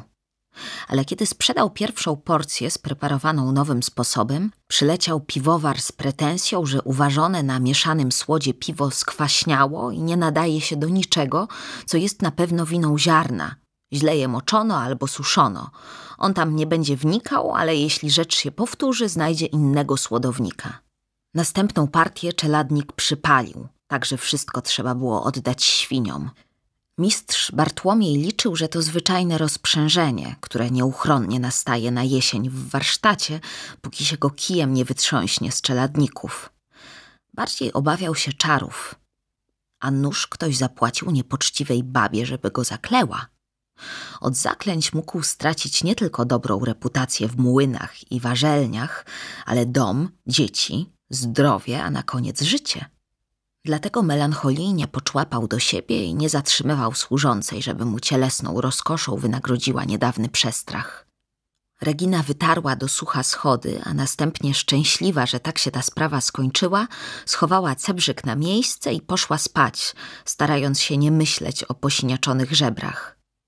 Dlatego, kiedy się ocknęła kilka godzin później, nie pojęła od razu, że właśnie rodzi. Nie domyślała się również, że w królewskim zamku inna kobieta krzyczy w tej samej, rozrywającej ciało męce. Pierwsze bóle porodu przyszły na królową Bonę 1 listopada, ale żadna z jej dam dworu nie zostawiła po sobie pamiętnika. Ówczesne kobiety z rzadka je pisywały, ani nie opisała w liście wypadków tamtej nocy. Królowa zaś własnoręcznie odnotowywała w modlitewniku narodziny dzieci, ale nie zwierzyła się w żadnym dokumencie, czym było dla niej doświadczenie macierzyństwa. Przed listopadową nocą 1526 roku rodziła już czterokrotnie, więc przypadłości ciąży nie stanowiły dla niej niespodzianki i chyba nie okazały się bardzo uciążliwe, skoro w ciąży studiowała szczegółowe raporty z królewskiej rozprawy ze zbuntowanym Gdańskiem, które sporządzali na jej potrzeby przedni królewscy urzędnicy z podkanclerzem Piotrem Tomickim włącznie. Jeżeli pilnie czytała kompendia medyczne, mogła zawczasu natłuszczać krocze olejkiem migdałowym, rumiankowym, fiołkowym albo tłuszczem gęsim, kaczym lub kurzym. Może doradzono jej, żeby okadzała się dymem, stojąc nad gorącymi węglami, ponieważ od takiego dymu ciało kobiety otwiera się, a płód schodzi na dół oraz na dziesięć dni przed porodem zaczęła zażywać w łaźni specjalnych kąpieli zaprawionych zmiękczającymi ziołami. Co zaskakujące, XVI-wiecznym położnicom zalecano ostrożną gimnastykę porodową. W końcówce ciąży miały się schylać, jakby coś podnosiły z ziemi, a czując pierwsze bóle, chodzić po domu albo po schodach. Lecz królowa Bona, nawet jeśli postanowiła zastosować się do tych rad, z pewnością nie biegała bez celu po wawelskich krużgankach, tylko dostojnie i w otoczeniu fraucymeru udała się do kaplicy królewskiej, żeby pojednać się z Bogiem na wypadek nagłej śmierci. Może wyspowiadała się, wysłuchała mszy i zapewne tak samo jak rycerz wyruszający do bitwy lub pielgrzym przed wyprawą do sanktuarium, przyjęła sakrament i przygotowała się duchowo do najbliższych niebezpiecznych godzin. A może poród przebiegał tak gwałtownie, że kapłan odwiedził ją w prywatnych komnatach, jak zdarzało się podczas choroby jej męża, kiedy król Zygmunt był zbyt słaby, by chadzać do katedry. Tak czy inaczej, królowa z pewnością została pobłogosławiona przed porodem i towarzyszyły jej gorące modlitwy bliskich, podczas kiedy dziecko mozolnie torowało sobie poprzez jej ciało drogę ku światu. Regina była zupełnie sama. Kiedy ból stawał się mocniejszy, zagryzała w zębach rąbek pierzyny i posapywała, ale cicho, żeby nikogo nie budzić. Po jakimś czasie ogarnęły ją drżenia i poty – po sienniku rozlała się jakaś wilgotność, a na koniec coś się w niej jakby przełamało i wyślizgnęło z pomiędzy ud. Wtedy chyba krzyknęła, bo kachna poruszyła się niespokojnie na swoim posłaniu. Szczur, szczur tylko. zawołała Regina instynktownie, nasuwając się całym ciałem na tę nową obecność i szczelnie nakrywając ją sobą, żeby nie zdążyła wydać dźwięku ani zaczerpnąć oddechu na świecie, gdzie nikt jej przecież nie chciał. Starsza służąca wymamrotała coś obelżywego i znów zapadła w sen. Regina spróbowała się unieść na łokciach i odczołgać od lepkiej wilgoci, która zdążyła już wyziębnąć i skrzepnąć na sienniku. Zabrakło jej jednak sił. Długo leżała po prostu czekając, aż ból minie i jej ciało wypchnie z siebie resztkę śliskiej, galaretowatej obrzydliwości. U królowej naturalnie wszystko odbywało się inaczej. W XVI wieku poród, jeżeli nie towarzyszyły mu jakieś nadzwyczajne okoliczności, rodząca przeżywała w grupie innych kobiet – Renesansowi lekarze zajmowali się seksualnością, także kobiecą, ale rzadko uczestniczyli w porodach, gdyż, jak przyznawali, lepiej, aby odbierały je kobiety, ponieważ mogą bez wstydu dzielić z położnicami sekrety swej płci. Po prostu naturalna skromność wymaga, żeby przy porodach nie pojawiali się mężczyźni, tłumaczył Philip Ecke, francuski autorytet z dziedziny ginekologii z przełomu XVII i XVIII wieku. I chociaż nad królową Boną bez wątpienia czuwali medycy z Włochem Janem Andrzejem de Valentinis z Modeny na czele, to nie wiemy, czy wpuszczono ich do komnaty porodowej. Jeżeli znaleźli się wewnątrz, zapewne trzymali się dyskretnie za zasłoną, żeby nie krępować dostojnej matki, a jednocześnie móc jak najszybciej interweniować, gdyby sprawy przybrały niebezpieczny obrót. Ale to kobiety przygotowały królowej komnatę porodową i zasłały łóżko – podtrzymywały ją na duchu, opiekowały się nią i wreszcie służyły jej i noworodkowi pomocą medyczną. W 1526 roku poród pozostawał na Jagiellońskim dworze wydarzeniem rodzinnym. Nie uczestniczyli w nim postronni i nie dochodziło do tak gorszących scen jak podczas narodzin córki Marii Antoniny, kiedy w 1778 roku dworzanie szczelnie wypełnili apartament królowej Francji, wdrapywali się na krzesła i sofy, a nawet na stoły i szafy, żeby mieć jak najlepszy widok na rodzącą, aż wreszcie królowa zemdlała. Niemniej narodziny królewskiego dziecka nie były również sprawą prywatną. Zresztą prywatność w sensie współczesnym jeszcze wówczas nie istniała. Nikt zawczasu nie wiedział, czy na zamku urodzi się chłopiec czy dziewczynka, ale każde z nich mogło w przyszłości wpłynąć na losy sukcesji, a więc i całego kraju. Dlatego do komnaty porodowej zapraszano stateczne matrony o nieposzlakowanej reputacji, żeby w razie konieczności poświadczyły, jaki przebieg miał poród, że dziecko urodziło się zdrowe i żywe i czy na pewno królewskiego potomka nie podmieniono na obcego podrzutka. Na Wawelu żyło się wówczas spokojnie i bogobojnie.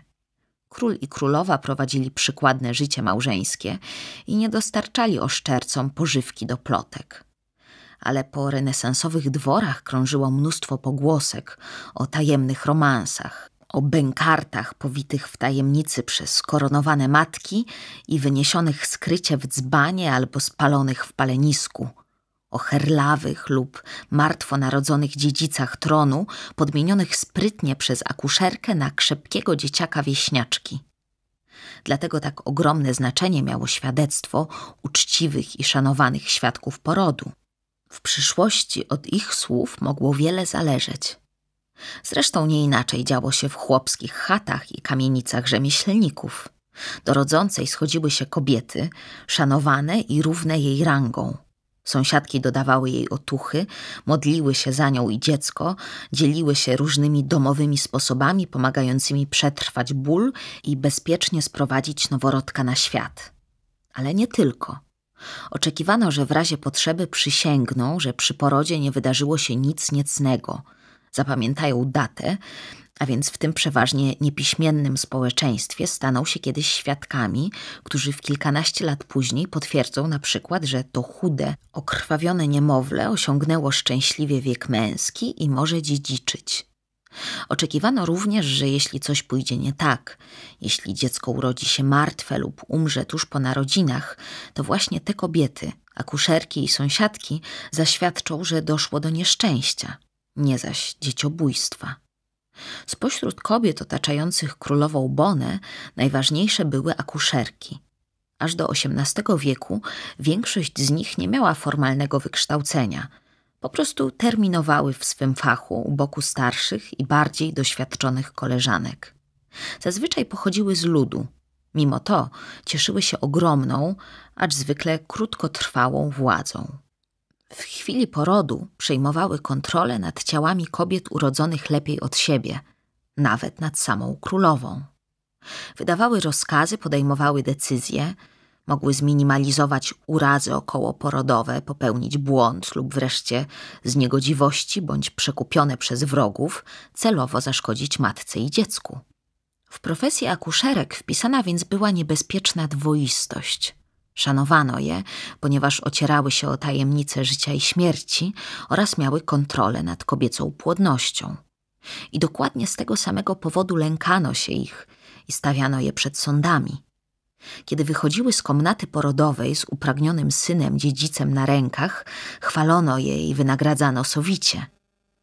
Ale czasami zamiast dziecka przynosiły bliskim wieść o śmierci i przyjmowały na siebie rozpacz i zawód rodziny. Od ich zręczności, dobrej woli i doświadczenia zależało zdrowie położnicy i dziecka. Dlatego położne królowych wybierano z największą starannością. Niekiedy sprowadzano je naprawdę z daleka. W 1640 roku rodzice polskiej królowej Cecylii Renaty na wieść o zbliżającym się porodzie przysłali położną z Wiednia. Królowej Ludwice Marii pomagała akuszerka z Prus. Królowa Bona także miała grono zaufanych akuszerek. Skąd pochodziły? Może z krakowskiego mieszczaństwa, bo w XVI wieku spotykamy je w religijnych bractwach miejskich, czyli stowarzyszeniach pogłębiających duchowość świeckich. Rozwijały się one bujnie w Europie średniowiecznej. W Polsce jednak czasy ich świetności przypadły na epokę nowożytną. Członkowie bractw wspólnie się modlili, uczestniczyli w nabożeństwach i praktykach pokutnych, szczególną czcią otaczając swojego patrona Chrystusa, świętych, Matkę Boską. Konfraternie fundowały ołtarze, kaplice, kościoły, a także niosły pomoc bliźnim, budowały przytułki i szpitale, otaczały opieką chorych, rozdawały jałmużnę. W annałach jednego z takich bractw Zapisała się również żona krakowskiego rajcy Jana Ulla, która stała za doktora i zwłaszcza białogłową w tych chorobach była pomocna. Ale Jagielonowie nie wzdragali się korzystać z usług wiejskich uzdrowicielek i zielarek, więc kobiety, które w 1526 roku opiekowały się monarchinią, mogły być po prostu zręcznymi wieśniaczkami. Kimkolwiek były, rezydowały na jej dworze i pomagały również dawnym dwórkom z Fraucymeru, które Bona przed rozwiązaniem sprowadzała na Wawel, żeby urodziły pod ich opieką. Obecność na dworze brzemiennych dwórek wzbudziła nieufność sarmatów, którzy spekulowali, czy królowa z pomocą bab nie tuszuje przypadkiem występków ulubienic. Przeciwko kalumniom z całą mocą zaprotestował Stanisław Górski – sekretarz królowej, zresztą w prywatnych pismach bardzo złośliwy i krytyczny względem swej chlebodawczyni. W 1538 roku pisał, że kobiety wyswatane przez królową wracają na dwór, by urodzić w domu, gdzie panny i matrony przebywają. Lecz nie ma w tym nic niegodziwego. Królowa po prostu kocha swoje włoskie dwórki. Tymczasem Regina, nawet gdyby zawczasu rozpoznała nadchodzący poród, z pewnością nie wezwałaby na pomoc akuszerki. Od XV wieku miejskie władze poddawały je bowiem coraz ściślejszej kontroli, a zarazem wykorzystywały je do kontroli obywateli. W miastach powoływano specjalne komisje do sprawdzania kompetencji położnych, a władcy nakładali na nie dodatkowe obowiązki – na przykład francuski król Henryk II w 1556 roku zażądał, aby akuszerki ustalały tożsamość ojców dzieci niezamężnych kobiet. Widać, założywszy, że podczas porodu każda niewiasta przeklina sprawcę swego nieszczęścia i głośno wykrzykuje jego imię. Licencjonowane, opłacane z kasy miasta położne stawały przed sądem jako biegłe w sprawach o gwałt czy dzieciobójstwo, a ich zeznania decydowały o życiu lub śmierci. W XVI-wiecznym Krakowie, Gdańsku, podobnie jak w miastach Rzeszy, akuszerki miały obowiązek zgłaszać magistratowi wszelkie podejrzane porody, pilnować, czy nie doszło do podmienienia dziecka, przedwczesnego porodu lub umarcia płodu. Regina domyślała się, że jej dziecko urodziło się nieżywe, skoro nie wydało żadnego dźwięku. Musiało obumrzeć już w jej łonie. Może z powodu słodu, który nieustannie budził się do życia i zaraz obumierał, a może Bóg i Panna Maryja mieli nad nią litość i zatracili bękarta, bo nie przyniósłby jej nic prócz zgryzoty i wstydu. Nie było w tym jej winy.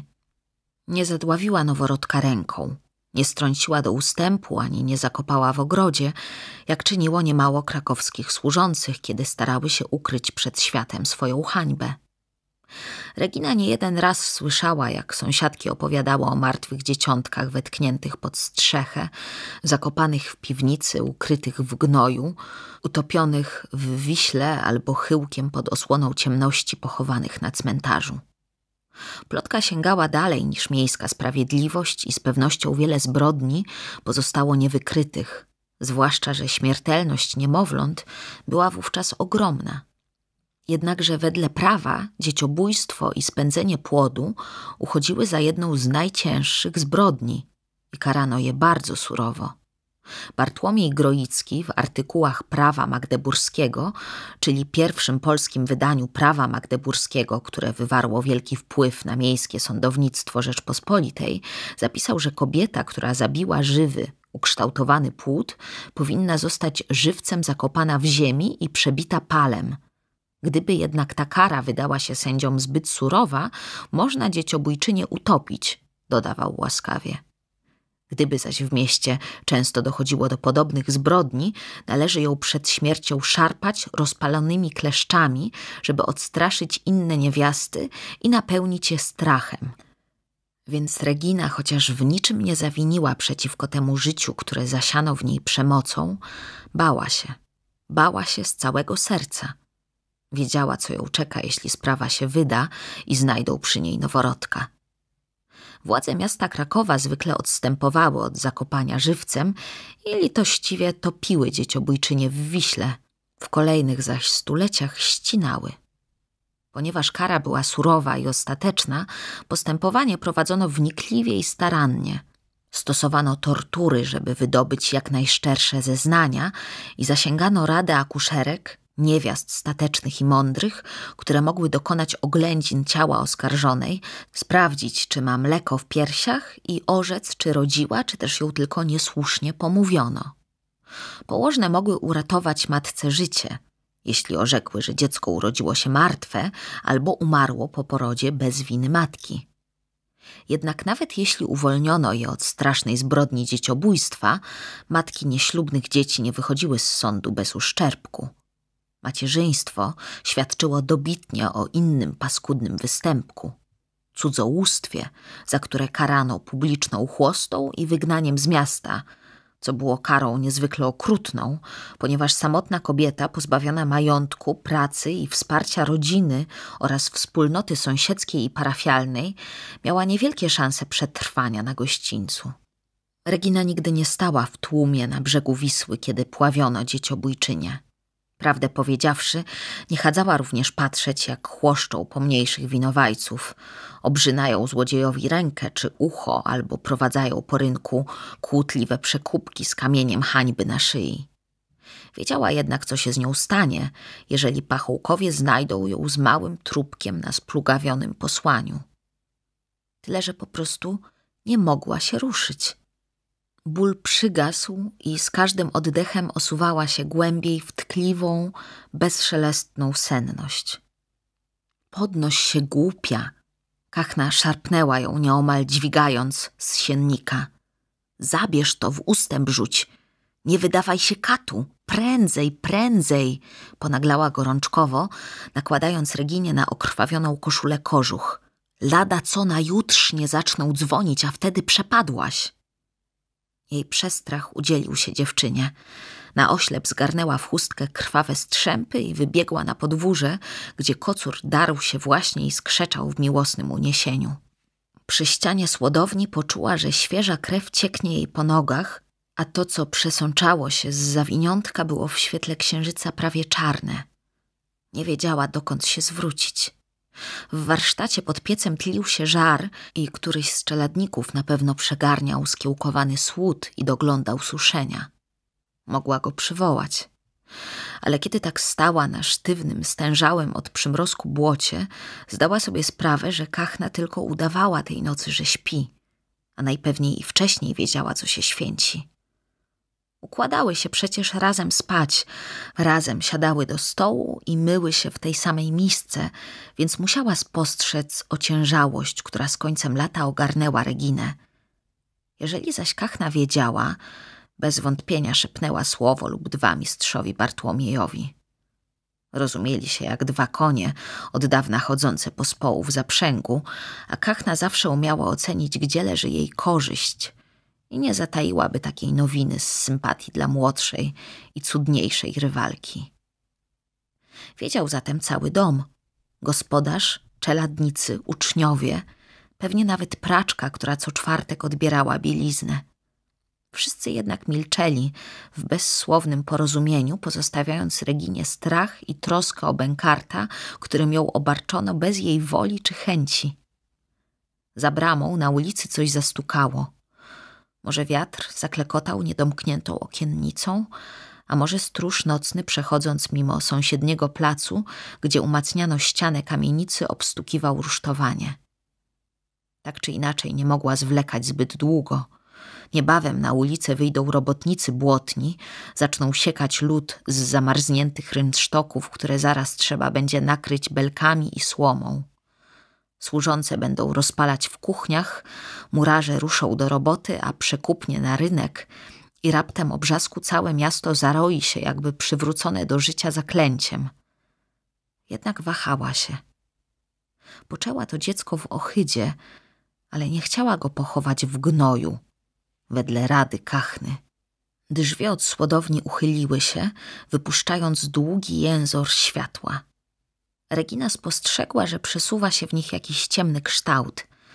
Może to kachna pobiegła za nią, albo i sam gospodarz postanowił dopilnować ukrycia grzechu, który, gdyby stał się jawny, mógłby nadwyrężyć reputację jego córek. Nie chciała go teraz spotkać, bo i cóż miałaby mu powiedzieć. Przyskoczyła do bramy i niezdarnie odemknęła wrzeciądze na drzwiach. Wydało się jej, że od strony podwórza ktoś zawołał ją po imieniu, lecz może to tylko zawodził wiatr, przewalając się po murkach i dachach przybudówek. Nawet się nie obejrzała. Na ulicy było ciemno. Mieszczanie mieli wprawdzie obowiązek wieszać na każdym domu latarnie, ale pilnowano tego skrupulatnie jedynie przy rynku, gdzie mieszkali najzamożniejsi. Na pośledniejszych ulicach nikt nie przestrzegał nocnego prawa. Na szczęście dom mistrza Bartłomieja stało zaledwie dwie kamienice od muru miejskiego i Regina sądziła, że nie zabłądzi, jeśli będzie się go trzymać. Musiała jednak pójść w złą stronę, albo potknęła się na wyboju i skręciła nie tam, gdzie trzeba.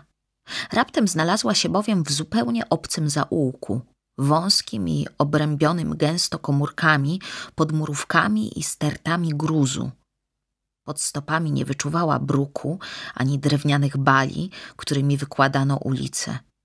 Szła powoli, jak ślepiec, macając po kamiennych ścianach, a z tyłu o kilkadziesiąt kroków za nią wlókł się pies, pewnie zwabiony smrodem świeżej krwi. Kiedy przyskakiwał za blisko, rzucała w niego kamieniem albo odłamkiem pogruchotanej dachówki. Odgoniony wybuchał pełnym złości ujadaniem, ale nie ustępował – Regina była mu nawet wdzięczna za tę szczekliwą obecność, choć mógł ściągnąć wiertelników, czyli stróżów nocnych, którzy patrolowali ciemności, dbając o nocny spokój mieszkańców i wypatrując pożarów. Ale głos psa zakotwiczał ją w mieście, które miała wrażenie przyczaiło się wokół niej jak złe kamieniste zwierzę. Gładkie za dnia fronty kamienic zjeżyły się ceglaną łuską. Murki z szelestem prześlizgiwały się w mroku. W gardzielach wygaszonych kominów syczał żar. Smok żył i przyglądał się jej czujnie jak nigdy dotąd. Przestraszona podniosła głowę i wtedy zobaczyła, że zamek usadowiony wysoko na skale ponad miastem mruga do niej złotą smoczą źrenicą. A smok był przecież diabłem. Z dawien dawna upodobał sobie tę postać i teraz pewnie chciał ją żywcem zabrać do piekła. Ze strachu serce się jej zatrzymało. Wcisnęła sobie pięść w usta i ugryzła mocno, żeby oprzytomnieć, ale wciąż widziała nad sobą te odległe, płomieniste ślepia. Potem wiatr nawiał chmur i ciemność stała się oleista i gęsta jak sadza. Reginie raptem przyszło do głowy, że wcale się nie zgubiła. Diabeł popchnął ją na tę ścieżkę i wiedzie na miejsce kary. Chciała krzyczeć, ale nie zdołała wydobyć z siebie głosu, więc tylko przeżegnała się w panice. I wtedy mrok jakby poluzował się wokół niej, a w każdym razie tak to potem wspominała. Coś ją jeszcze trzymało za koszulę, więc szarpnęła się naprzód z całej siły, wyrywając strzępy tkaniny, przebiegła przez dziurę w murze, skręciła i naraz stała pod latarnią zmarłych przed wejściem na farny cmentarz. Chciała zagrzebać Bękarta w poświęconej ziemi, pod Bożą męką i w ten sposób ochronić go od wiecznego potępienia. Ale zanim weszła na miejsce pochówku, co się utknęło. Rozwinęła chustkę, żeby choć na nie spojrzeć i zobaczyła, że dziecko musiało się urodzić przed czasem, bo było maleńkie, mniejsze niż jej dłoń, lecz pięknie ukształtowane, z jasnymi włoskami i wysokim czołem – Rączki i nóżki miało tak cienkie, że niemal przezroczyste w słabym świetle latarni, ostrzegającej żywych, żeby nie zbłądzili na ziemię opanowaną przez zmarłych. Ktoś zawiązał pępowinę. Regina nie pamiętała, żeby sama to zrobiła, więc może kachna w odruchu miłosierdzia przecięła ją i zadzierzgnęła węzeł. Delikatnie przesunęła palcem po twarzy córki, żeby ją pożegnać, bo to była dziewczynka – tyle że mniejsza niż kocie. I wtedy mała zakwiliła i otworzyła oczy. Regina krzyknęła przestraszona, a w górze ponad dachami rozkołysały się dzwony. Dzwony dla odmiany po wcześniejszych zwidach biły tej nocy naprawdę. Na Wawelu urodziła się właśnie mała królewna. Rozdział drugi. Czas kobiet. Połóg i oczyszczenie. Historia opowiada głównie o śmierci. Chrześcijanie konają na arenach, rozrywani przez lwy. Rzymianie padają pod naporem barbarzyńców. W bitwach tracą życie tysiące rycerzy oraz zwyczajnych obozowych ciur i markietanek. Królowie giną malowniczo, obiecując królestwo za konia lub wyjąc z bólu, jeśli nieroztropnie przyjęli z rąk małżonki kielich z trucizną. Rzeźmieszki rozstają się z życiem na szubienicach, buntownicy na szafotach, heretycy na stosach. Chłopi umierają z głodu, poborców podatkowych, jeśli usiłowali wykonywać swe obowiązki w rok nieurodzaju, rozszarpują nędzarze. Ograbieni kupcy konają w przydrożnych rowach, rybaków i żeglarzy pochłania morze, a zaraza, nie przebierając, kosi i starych, i młodych, i bogatych, i biednych. Dlaczego w opowieści o przeszłości śmierć tak bardzo góruje nad narodzinami? Być może dzieje się tak dlatego, że schodząc z wielkiej sceny historii, jej aktorzy dźwigają na plecach wszystkie lata przeżyte, cicho lub w pełnym świetle – i łatwo odróżnić, komu przypadła główna rola, a kto w milczeniu trzymał swoją halabardę. Tymczasem w chwili narodzin wszystkie dzieci są tak samo nagie, skrwawione, kruche i wrzeszczące. Jedne rodzą się w pałacu, inne w kurnej chacie – lecz nikt z pochylających się nad kołyską nie potrafi rozpoznać, który noworodek umrze, zanim nauczy się wypowiadać pierwsze słowa, a który dorośnie i odciśnie ślad dłoni na piasku nanoszonym przez szeroką rzekę, jaką jest czas. Przez wieki kroniki odnotowywały wyłącznie narodziny wielkich aktorów historii lecz trudno bezkrytycznie wierzyć opisom najwcześniejszych lat, legendarnych królów, świętych czy wielkich myślicieli, ponieważ bywają powidokiem ich późniejszego życia. piękną baśnią o początkach napisaną przez historyków tak, by pasowała do dorosłości. Bohaterowie nie żyją więc w kronikach zwykłym życiem, tylko od chwili narodzin dowodzą swej wyjątkowości. Dlatego święci, wyczuwając grzech, już jako niemowlęta nie chcą pić z piersi lubieżnej mamki i podobnie jak Chrystus w świątyni od dziecka rozsądzają zawiłe spory. Dlatego tyrani rodzą się z grudką zaschniętej krwi w dłoni, a narodzinom wielkich królów towarzyszą ogniste znaki na niebie. Lecz te legendy więcej mówią o tym, jak wyobrażano sobie narodziny bohaterów, niż o tym, w jakich okolicznościach naprawdę przychodzili na świat.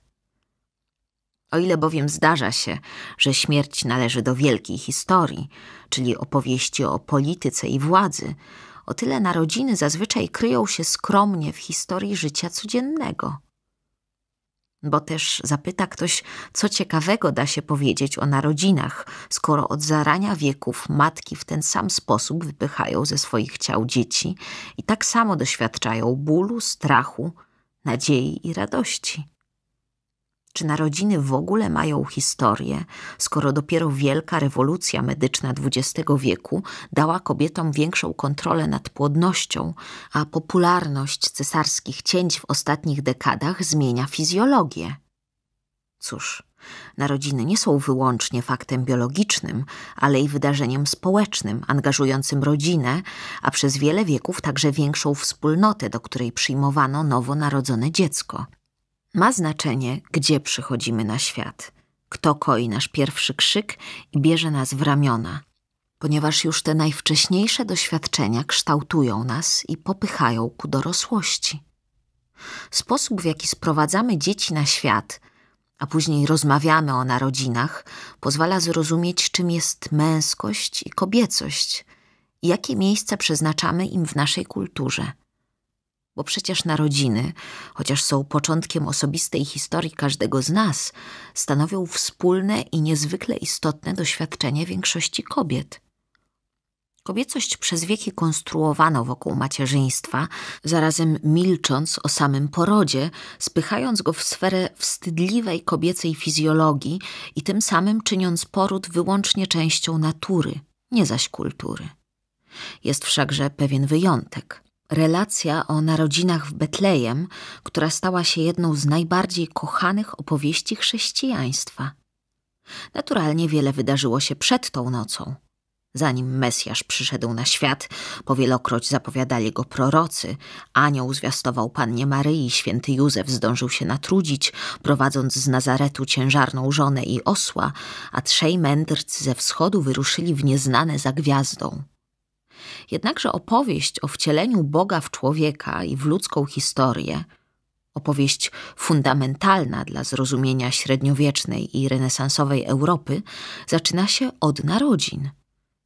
Ewangelistom wydawało się ważne, że król królów narodził się samotnie i po owinięciu w pieluszki został złożony do żłobu, a pierwsi pokłonili się przed nim nie możni, lecz pasterze. Co niezwykłe, wiele szczegółów narodzin Chrystusa, które wydają nam się teraz oczywiste, w rzeczywistości pochodzi z apokryfów, czyli ksiąg, które nie zostały włączone do kanonu, gdyż nie uznano ich za napisane z natchnienia Ducha Świętego. Obecny kształt Biblii ustalono bowiem po wiekach sporów i dyskusji. Można by rzec, w wyniku demokratycznej decyzji podejmowanej na soborach przez przedstawicieli chrześcijańskich wspólnot – acz trzy wielkie gałęzie chrześcijaństwa katolicyzm, prawosławie i protestantyzm różnią się w swoich zapatrywaniach na kilka tekstów. Kanoniczne wersje Pisma Świętego nie opowiadają o zwierzętach, które towarzyszyły dzieciątku w chwili narodzin, chociaż tradycja umieszczająca obok jego żłóbka osła i wołu jest bardzo stara. Pochodzi z datowanej na VI wiek Ewangelii Pseudo-Mateusza, i odwoływały się do niej już pierwsze franciszkańskie szopki.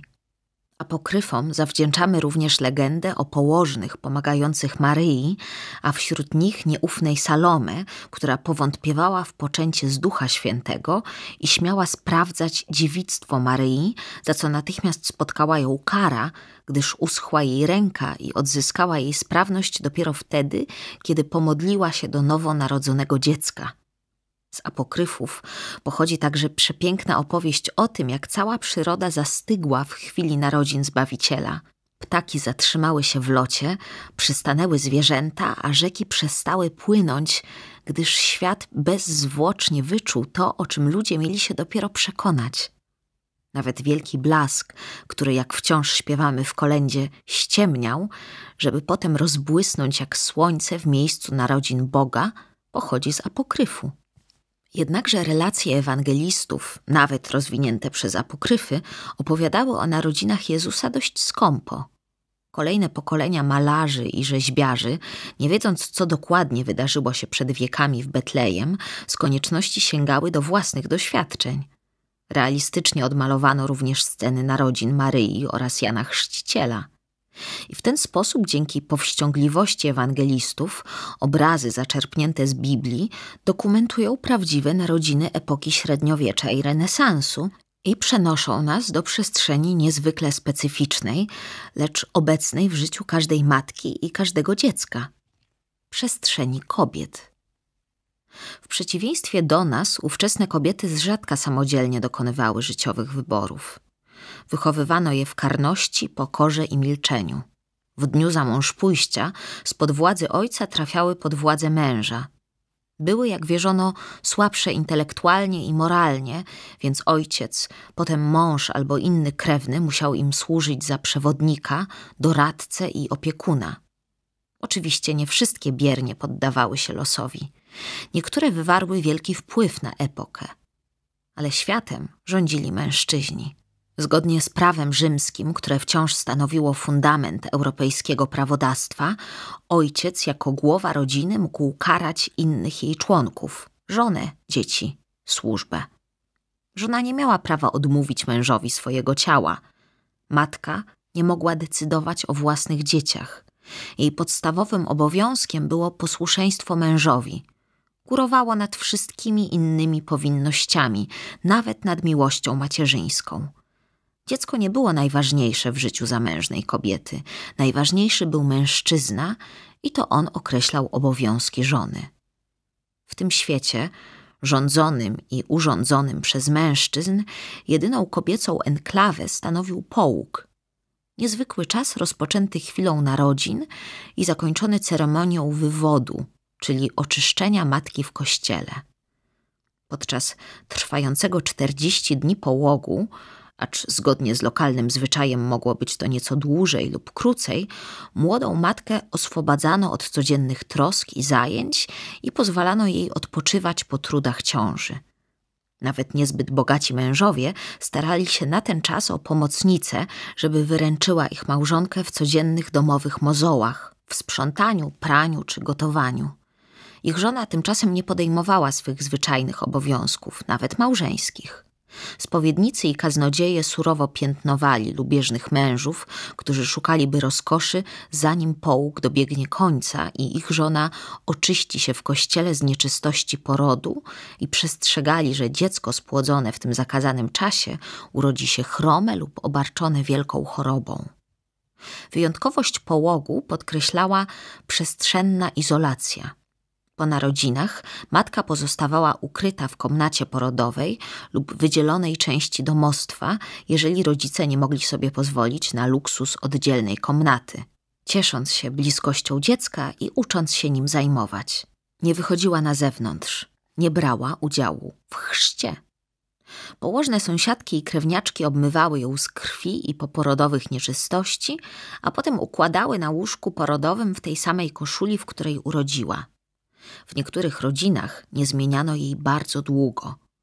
Dwórka polskiej królowej Katarzyny Habsburżanki, Zofia Łaska, podczas wizyty na dworze cesarskim zauważyła ze zdumieniem, że cesarzowa nosi koszulę porodową przez cały czas połogu. Początkowo młoda matka leżała w łóżku. Po kilku dniach, kiedy poczuła się lepiej, zaczynała się podnosić i chodzić po komnacie. Jeszcze później, pod koniec okresu odosobnienia, wychodziła z komnaty porodowej i poruszała się po domostwie, doglądała służby i rozmawiała z domownikami, ale pozostawała skromnie ukryta przed wzrokiem obcych. Ukryta nie znaczy jednak osamotniona. Szczęśliwy poród otwierał dla matki sześciotygodniowy okres radosnej celebracji macierzyństwa. Odwiedzały ją krewne, a także kobiety, które towarzyszyły jej wcześniej podczas narodzin dziecka, akuszerki, sąsiadki, przyjaciółki, żony partnerów męża w interesach. Winszowały pomyślnego rozwiązania, plotkowały, piły wino, jadły lekkie posiłki i słodycze. Ich wizyty należały do rytuałów okołoporodowych – podobnie jak podziwianie dziecka i obdarowywanie położnicy prezentami. Szczęśliwy ojciec nie uczestniczył w tych spotkaniach. Jego rolą było wyposażenie komnaty porodowej, ufundowanie poczęstunków i zapewnienie komfortu małżonce przeciwieństwie do Maryi, którą rozwiązanie zaskoczyło w podróży, musiała więc poprzestać na przypadkowym schronieniu, rodzice epoki średniowiecza i renesansu bardzo starannie przygotowywali komnatę porodową. Rozumieli bowiem, że matka spędzi w niej nie kilka godzin, ale pełne sześć tygodni. Na dworach królewskich i książęcych jej wygląd regulował ceremoniał dworski, niekiedy precyzyjnie określający nawet kolor zasłon otaczających łoże. I tak na przykład angielski ceremoniał z roku 1493 stanowił, że pomieszczenie to należy bogato umeblować łożem z baldachimem, dywanami i arrasami w kolorze purpury i złota. Na dworze Jagielonów nie powstały tak szczegółowe regulacje, lecz również dbano, żeby dzieci monarchy przychodziły na świat w należytej oprawie. Protoplasta dynastii jagiellońskiej – Władysław Jagiełło prosił spodziewającą się dziecka królową Jadwigę Andegawenkę, żeby na przyszły poród nie zaniedbała ozdobienia łoża i sypialni obiciami, nakryciami i zasłonami przetykanymi złotem, drogimi kamieniami i perłami. Wszyscy, także ci najubożsi, starali się, żeby ich dzieci przychodziły na świat w miejscu czystym, zacisznym i ciepłym – Wyposażali pokój położnicy lub część izby przygotowaną do porodu najlepiej jak umieli. Najważniejszym i niezbędnym sprzętem było łóżko lub stołek porodowy. Bogaci ozdabiali je baldachimem, zasłonami lub kosztowną tkaniną – Biedni z trudem wysupływali grosz na świeże prześcieradła i zdarzało się, że wdowy zapisywały parafii prześcieradła i płótno, które miały im służyć w trumnie, żeby przeznaczono je dla biednych, acz uczciwych matek na wyszykowanie łóżka do porodu. Musiał się tam znaleźć również piec, kominek lub jakieś inne źródło ciepła, ponieważ położnicę chroniono przed chłodem. Poza tym grzano wodę, żeby móc przykładać jej ciepłe kompresy – a potem obmyć noworodka. Zazwyczaj rodzono w ciemności, za zaciągniętymi zasłonami i zamkniętymi okiennicami. Na stole czy stołku stał więc świecznik lub chociaż pojedyncza świeczka. Na ścianie zawieszano obrazek Maryi lub świętych słynących jako opiekunowie młodych matek. Kiedy dziecko pojawiło się już na świecie, przynoszono dzban z wodą i misę do pierwszej kąpieli noworodka, po czym układano go w kołysce, w jednych domach wyplecionej z wikliny, w innych odlanej ze szczerego złota. Wystrój komnaty porodowej nie służył wyłącznie wygodzie. W rodzinach elit stanowił potężny komunikat napisany w języku kamienia, pięknie obrobionego drewna, kosztownych tkanin i szlachetnych metali, świadczący o radości rodziców ze szczęśliwego rozwiązania, ale też o potędze i znaczeniu rodu. Meble, tkaniny oraz naczynia ozdabiano scenami ewangelicznych narodzin – beztroskimi dziećmi czy triumfalnym macierzyństwem Maryi, tak żeby dodawały otuchy położnicy i ukazywały poród jako doświadczenie radosne i podniosłe. A jednocześnie wszystkie te przedmioty wytyczały granice intymnej strefy macierzyństwa, w której kontrolę sprawowały kobiety, a mężczyźni pojawiali się z rzadka i nie odgrywali większej roli. Regina nigdy nie doczekałaby się takiego przepychu, jakim otaczano królową Bonę. Kiedy wędrowała do Krakowa w pogoni za szczęśliwą przyszłością, nie marzyła o srebrnej kołysce, jaką przed narodzinami pierwszego dziecka królowej Bony przesłała z Italii matka, księżna Izabela Aragońska. Nie domyślała się nawet, że taki zbytek jest możliwy. Wiele jednak wiedziała o porodach, bo jej sąsiadki i krewniaczki wychodziły przecież za mąż i rodziły dzieci. I kiedy wyobrażała sobie narodziny własnego dziecka, widziała wokół siebie siostry, przyjaciółki i starsze kobiety, doświadczone w sztuce przyjmowania porodów. Liczyła, że poprzez ból przeprowadzą ją słowa modlitw i nabożnych pieśni, a nie chrapanie kachny i chrobot myszy w ścianie. Przyjaciółki pomogłyby jej przejść przez to doświadczenie w godny sposób. Gdyby z bólu zabrakło jej tchu, podpowiedziałyby litanie do świętych Doroty, Katarzyny i Małgorzaty, które choć bogobojne dziewice uważano za szczególnie pomocne dla położnic. Obłożyłyby brzuch ciepłymi cebulami, utłuczonymi z masłem, żeby przyspieszyć rozwiązanie i zawiesiły na szyi Agnus Dei, czyli pobłogosławiony przez papieża woskowy odcisk Chrystusa jako baranka Bożego, przynoszący cudowną ulgę w mękach porodu.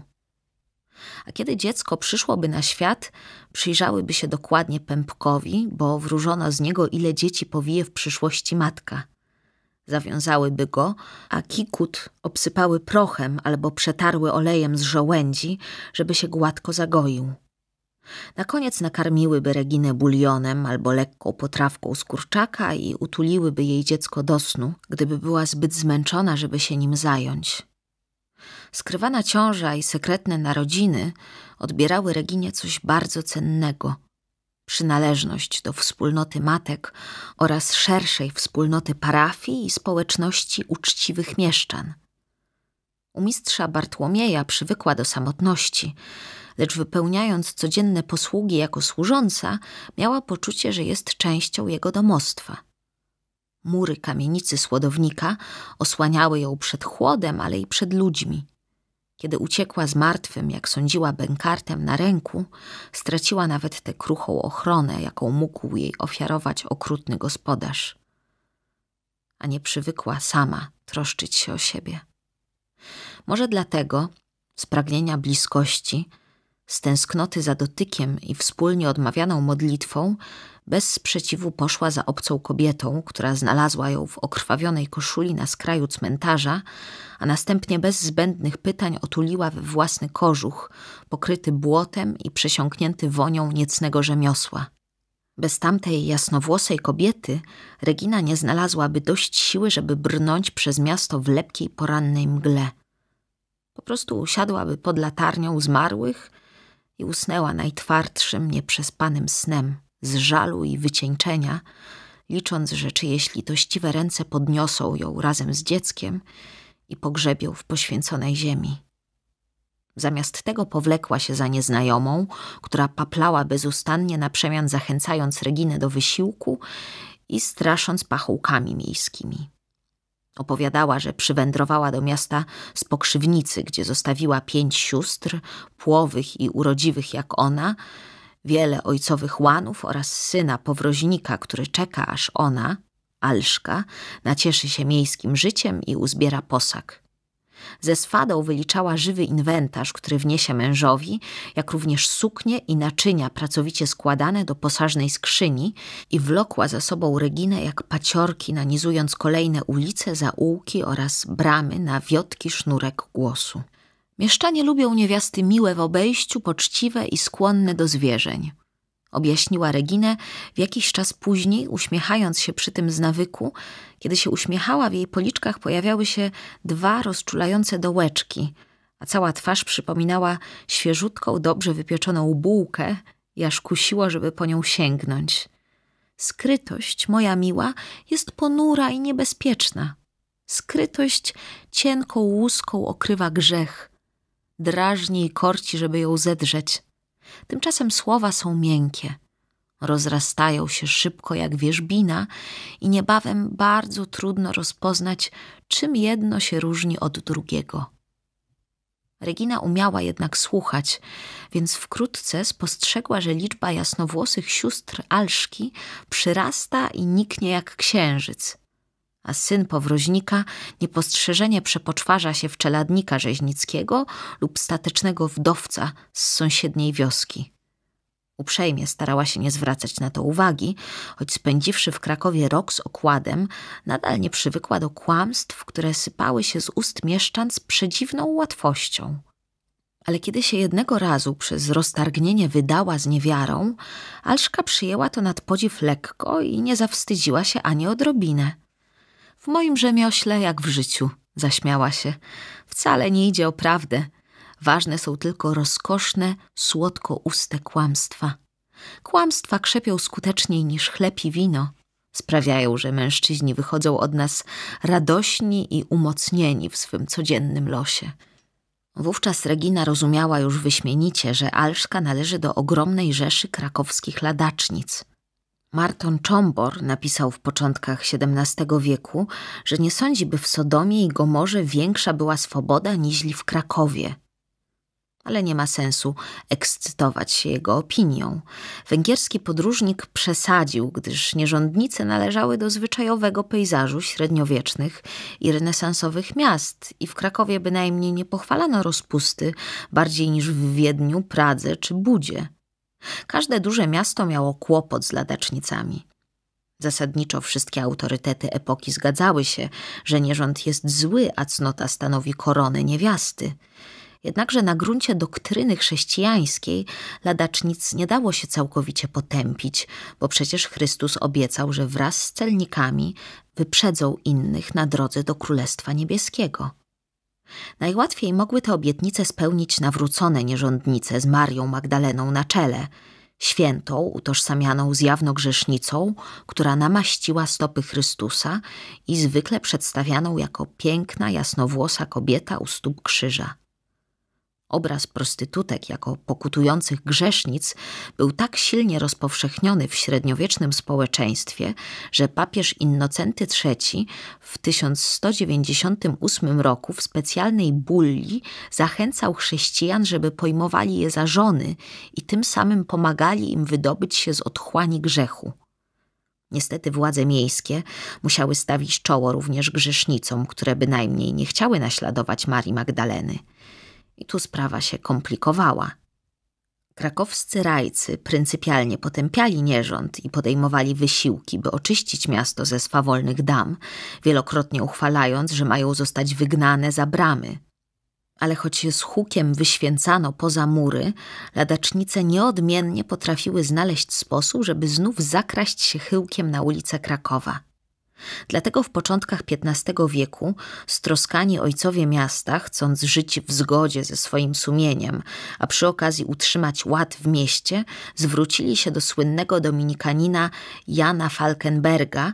Jako stronnik krzyżaków wsławił się on między innymi ohydną satyrą na króla Władysława Jagiełłę oraz w ogóle na Polaków z pytaniem, czy świeckie prawo dopuszcza istnienie nierządnic i czy władze miejskie mogą budować oficjalne zamtuzy oraz czerpać z tego tytułu zyski.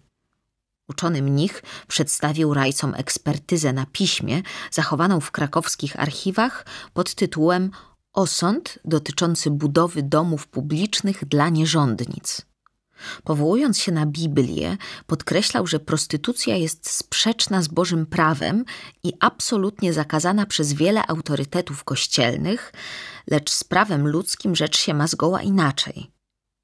Falkenberg, uważny czytelnik świętego Tomasza Zakwinu, argumentował, że prawo świeckie powinno być dostosowane do potrzeb i możliwości ludzi – Wszak jedynie nieliczni są tak świadomi i cnotliwi, że będą stronić od wszystkich grzechów i występków. Prawo świeckie musi tę moralną ułomność obywateli uwzględniać, a zarazem kształtować ich i prowadzić do doskonałości. Należy je konstruować tak, żeby dało się go przestrzegać. Nie powinno więc potępiać wszystkich grzechów, tylko te co większe i najdotkliwiej zagrażające ładowi społecznemu. Bóg dopuszcza zło wywodził za Akwinatą Falkenberg, żeby doprowadzić do dobra albo zapobiec większemu złu. A nierząd jest wprawdzie zły, lecz jeśli zostanie całkowicie zakazany, lubieżność popchnie ludzi do jeszcze sroższych grzechów.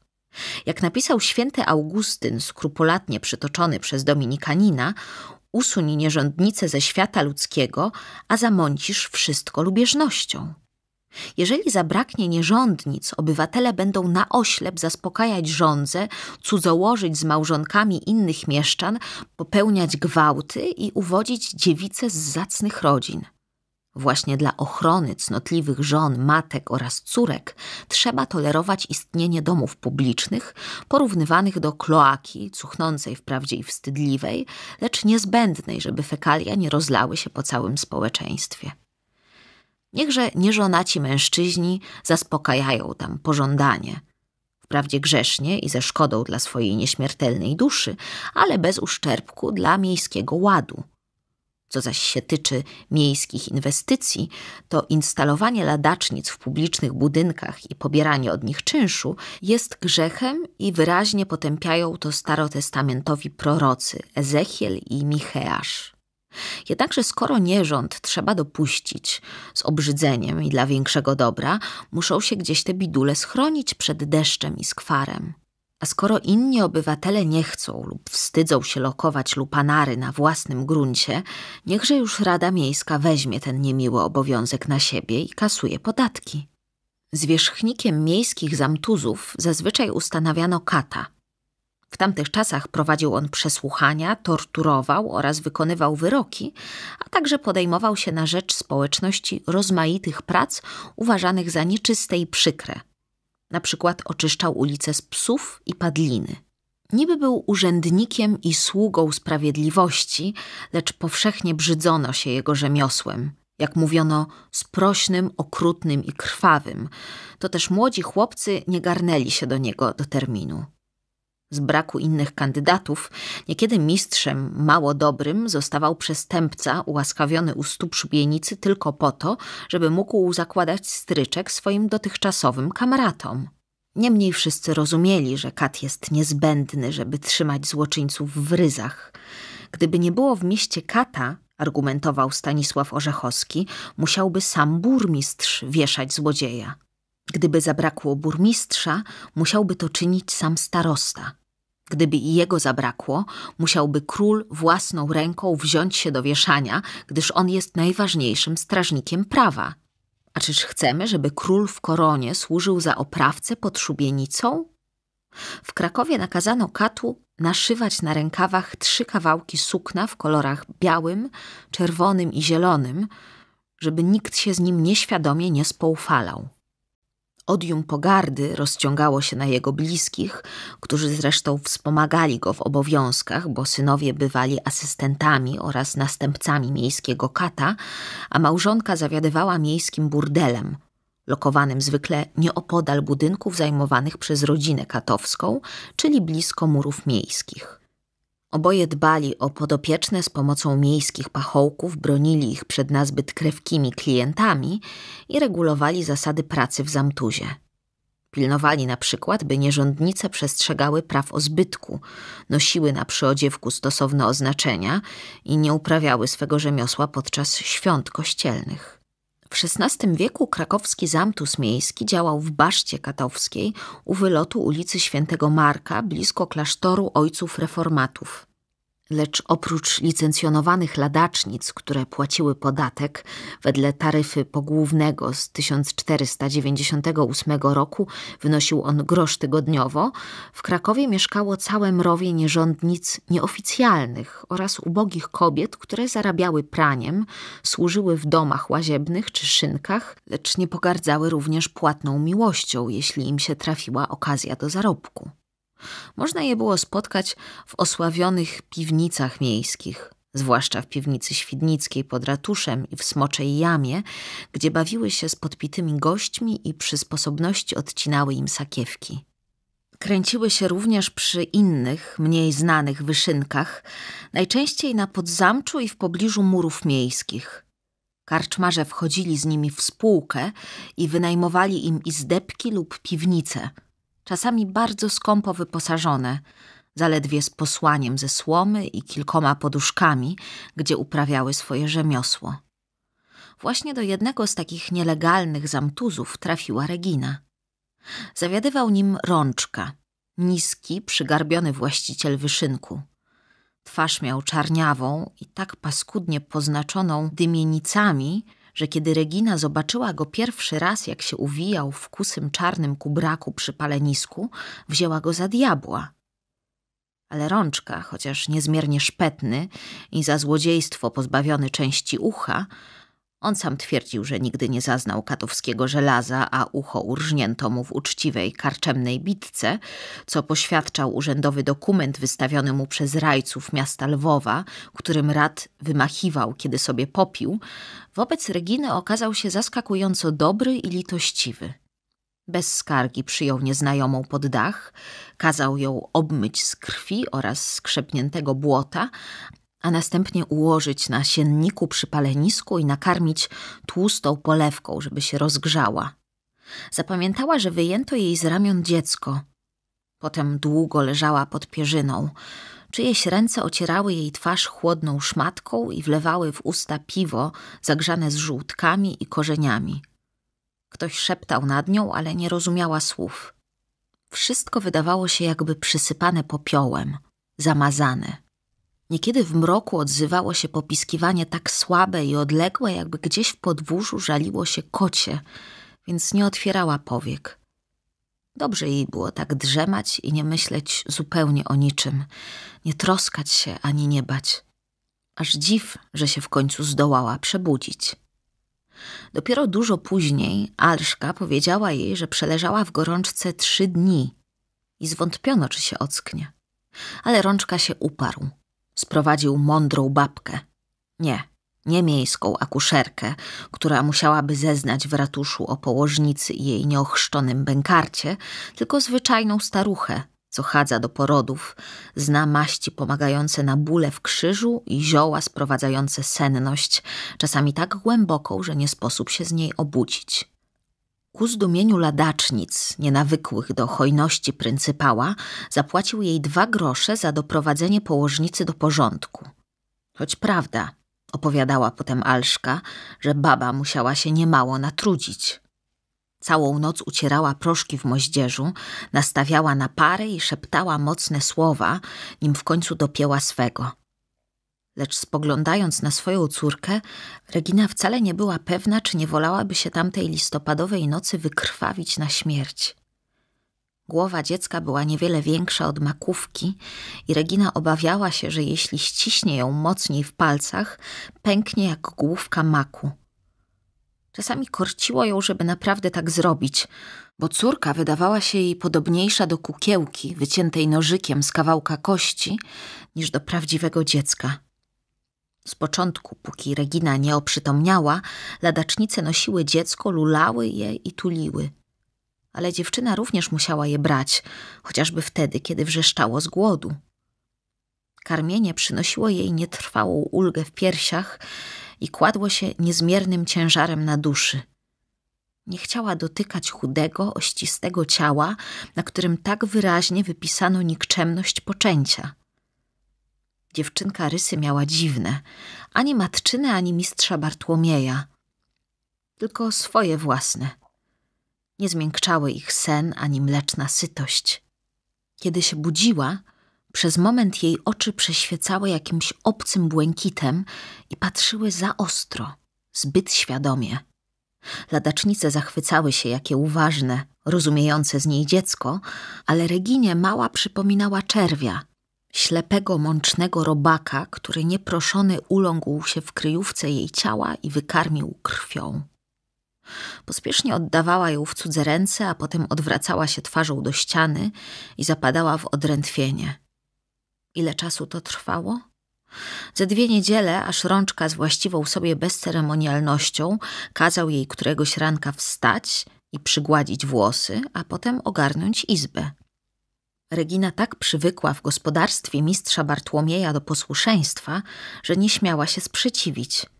Zgięta w pół, zamiotła izbę, wymyła kąty i nawet uważyła polewkę, chociaż szło jej nieskładnie. czuła się tak mdło i słabo, jakby jej przytroczyli na grzbiecie pokutny kamień. I oczywiście miała szynkarzowi za złe, że jej nie pozwala wyleżeć się i wypocząć w połogu, co było przywilejem każdej położnicy, choćby najuboższej. Jednakże wśród tego rozżalenia i znoju cały dzień minął jej niepostrzeżenie i wieczorem, kiedy po drugim dzwonieniu na ratuszu rączka zamknął wyszynk, raptem siedziała wraz z innymi u stołu, jadła rybną polewkę, zagryzała chlebem z jarzyną i śmiała się, jak reszta z opowieści długiej Zośki, najmłodszej z ladacznic. Zośka opowiadała, jak tuż przed zmierzchem czeladnicy rzeźniccy zakradli się pomiędzy kramy targu rybnego i dla psoty palili tam okrawki rogu i inne smrodliwości, co zresztą stanowiło ich stałą rozrywkę, póki im jej z całą surowością nie zakazano w dziesięć lat później, w roku 1536. Tymczasem jednak ryczeli ze śmiechu i podsycali przestrach, wrzeszcząc, że ogień hula po mieście – Pożoga regularnie pustoszyła renesansowe miasta, więc na rynku natychmiast podniósł się rwetes. Przekupki pędziły przed siebie z zadartymi spódnicami, tratowano kramy i wysypywano towar. Żebracy, sprzedawne dziewki i szkolarze podnosili z błota co piękniejsze węgorze i szczuki, złodzieje odcinali sakiewki. W powszechnym zamęcie ktoś zadźgał pomocnika mielcarskiego, a po rynku, wbrew wszelkim zakazom panów z magistratu, biegały trzy świnie i wielki łaciaty wieprz, w którym rozpoznano własność pewnego piekarza. Ponadto, ciągnęła ze śmiechem długa Zośka, na ulicy Szczepańskiej jakieś niecne dusze pochwyciły młodziutkiego krawca we flamandzkich pantoflach i oberżnęły mu strusie pióra u kapelusza, przed czym się nie zdołał obronić, popiwszy sobie w przódy w szynku. Następnie przywiązano go tyłem naprzód do kozła i popędzono zwierzę ku farze i dopiero straż miejska położyła kres tej wesołej zabawie. Wśród tej pustej paplaniny Regina śmiała się, aż ją rozbolały boki, a później sama, nie wiedząc kiedy i dlaczego, przeszła z radości do płaczu. Ladacznice próbowały ją przygarnąć i ukoić, ale na nic się to nie zdało. Rozpacz, tłumiona tyle czasu pod dachem mistrza Bartłomieja, wydobywała się z niej wreszcie w przeraźliwym ryku. Nikt się temu nie dziwił, ani nikt nie przeszkadzał. Tylko Alszka – Wstała i napełniła jej kubek ze szklanej flaszki, ale tym razem nie wodą, tylko paloną wódką i kazała wypić do dna. Regina zachłysnęła się. Napój piekł w gardle i smakował arcydzięgielem z pieprzem. Co teraz będzie? Zapytała, kiedy mogła już mówić. A co ma być? Rączka wzruszył ramionami. Dziecko chrzcimy. Tamtych czasach znacznie surowiej oceniano tych, którzy nie ochrzcili dziecka, niż tych, którzy je porzucili. Chrzest był bowiem podstawowym obowiązkiem rodziców. Włączał niemowlę do wspólnoty chrześcijańskiej i dawał mu nadzieję zbawienia.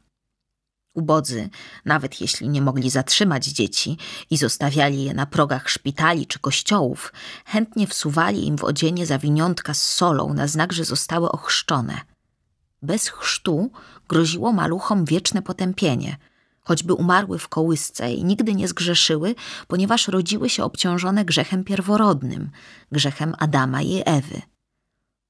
Nieochrzczonym niemowlętom odmawiano przywileju pogrzebów poświęconej ziemi – Dlatego Kościół, choć zasadniczo niechętny ingerencji świeckich w sferę sakramentów, zobowiązywał położne, żeby chrzciły z wody słabowite noworodki, jeżeli te mogłyby nie dożyć do właściwej, sprawowanej przez kapłana ceremonii w kościele. Rodziców napominano, żeby nie odwlekali chrztu, gdyż śmierć jest nieodłącznym towarzyszem najmłodszych lat – a władze świeckie wyznaczały grzywny tym, którzy by zaniedbali ochrzcić dziecko w terminie od siedmiu do trzydziestu dni. Różnie go bowiem wyznaczano od narodzin. Ale rodzice zazwyczaj się nie ociągali.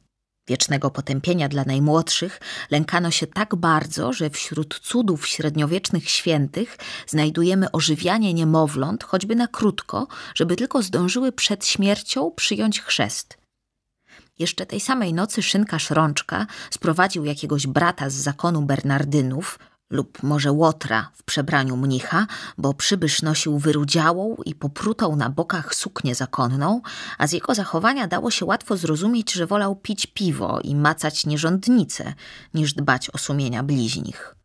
Owszem, polał dziecko nad misą poświęconą wodą, pomazał je błotem i nakreślił mu na czole znaki świętym olejem, a potem mamrotał coś długo i niezrozumiale po łacinie. Wszystkie trzy niecne panienki stały wokół niego z zapalonymi świecami, samorzutnie przyjąwszy rolę matek chrzestnych. Szczerzyły zęby i trącały się łokciami. Alszka, jako najstarsza i najbardziej zasłużona, trzymała dziecko przyodziane w białą szatę z kapturkiem. A Regina całą ceremonię przepłakała, schowana za zasłoną. Nie odezwała się ani słowem, nawet wtedy, kiedy mnich zapytał o imię dla dziecka. Niech więc będzie dosieczka. Dorota, po mojej matce, zdecydowała Alszka, a dwie pozostałe wszetecznice przyklasnęły jej radośnie, bo całkowicie przywykły do jej przewodnictwa i zgadzały się z nią we wszystkim. Kiedy mnich dopełnił obrzędu, Regina wychyliła się na moment z zasłony w przebłysku szaleńczej nadziei, że poświęcona woda odmieni potworka, którego powiła zamiast córki i przywróci mu należytą formę. Ale nie doczekała się. Zresztą w gruncie rzeczy nie spodziewała się cudu. Może gdyby zaniesiono dziecko do prawdziwej świątyni i tam obmyto z pierworodnego grzechu, Bóg wejrzałby na nie łaskawiej i obudził w nim duszę – jeżeli drzemała w jakimś zakamarku pokracznego ciałka. Ale modlitwy łże mnicha z pewnością nie miały takiej mocy. Bernardyn bluźnił tylko dla zarobku albo z powodu wcześniejszych konszachtów z rączką, bo widać było po obu, że się dobrze znają. Gdy modlitwy dobiegły końca, rączka po długich targach wypłacił zakonnikowi cztery grosze za usługę, a ponieważ Bernardyn marszczył się i fukał, dodał dwie srebrne łyżki, bez wątpienia kradzione, oraz połeć solonego mięsa. Na schodach Alszka obdarowała go jeszcze całusami na drogę i poocierała się o niego, żeby go całkowicie udobruchać. Potem ladacznice obsiadły Reginę, Uraczyły ją świdnickim piwem i dawały jej co tam, która miała najpiękniejszego. Modre wstążki, cienki pasek ze srebrnych ogniw i kapturek podbity miękkim kunim futrem. Podawały sobie z rąk do rąk niemowlę, a ono znosiło ich pocałunki i gulgotania, nie otwierając nawet oczu, z tą samą senną obojętnością, z jaką przyjmowało wszystko, co się wokół niego działo. Wreszcie Regina nie mogła dłużej wytrzymać tych błazeństw.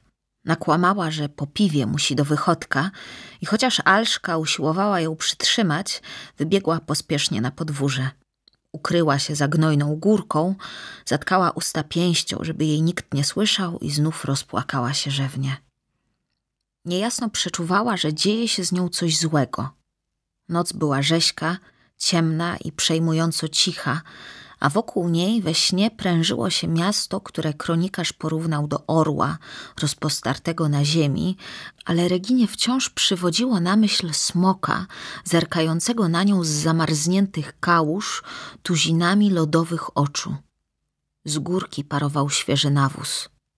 Rączka, prócz pospolitego drobiu, trzymał w komórce kilka maciorek i jagniąt dla pożytku gości, a także starego osiołka – obdartego już na grzbiecie od dźwigania ciężarów. Szynkarz się odgrażał, że zanim mrozy puszczą, osiołek powędruje do jatki. Gęsi i prosięta również miały iść pod nóż w grudniu, portretowanym w staropolskich kalendarzach jako miesiąc świniobicia. Zamienią się w pieczyste, pasztety oraz potrawki, po czym zostaną pożarte i strawione, kiedy tylko post minie i wolni towarzysze cechowi zaczną się schodzić na spotkania w oberżach. Nie. Reginy nie wzruszał los zwierząt. Nie litowała się nad poczciwym ośliskiem, które było przywiązane do ladacznic jak pies i tak wyuczone sztuczek, że przyklękało w błocie na przednie nogi, prosząc o marchewkę lub ogryzek jabłka. Płakała nad sobą.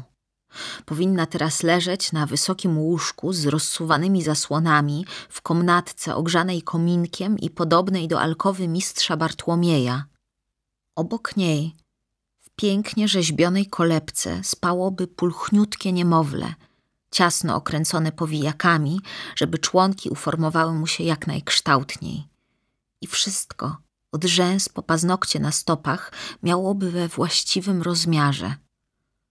Sąsiadki nie mogłyby wyjść z podziwu, jakie to piękne dziecko, gładkie na buzi, tłuściutkie i spokojne. Nawet królowa nie urodziłaby lepszego, mówiłyby cmokając z zachwytu, tyleż nad urodą dziecka, co nad piwem z korzeniami, białymi bułkami i cukrami, które mąż Reginy hojnie by im wydawał w podziękowaniu za nowonarodzonego dziedzica. Nie. Nie spotykała w tych marzeniach ojca dziecka. Był zaledwie cieniem na zasłonie albo rozradowanym głosem w sieni na dole, kiedy prowadził kumoszki po schodach do komnaty, gdzie odpoczywała Regina i gdzie przyszedł na świat jej syn. Bo gdyby wszystko ułożyło się jak należy, ani chybi urodziłaby syna. Była tego pewna. Nie musiałby się niczym martwić, ani szorować garnków po ladacznicach.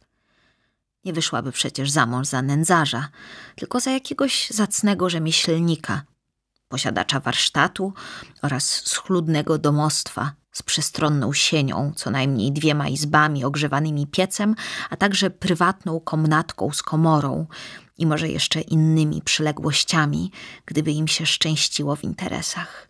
Czemuż by nie miało się im poszczęścić, skoro tylu łajdaków i krzywoprzysięzców dorobiło się w Krakowie majątku? Tak, z pewnością jej mąż byłby bogaty i nie skąpiłby grosza na służącą.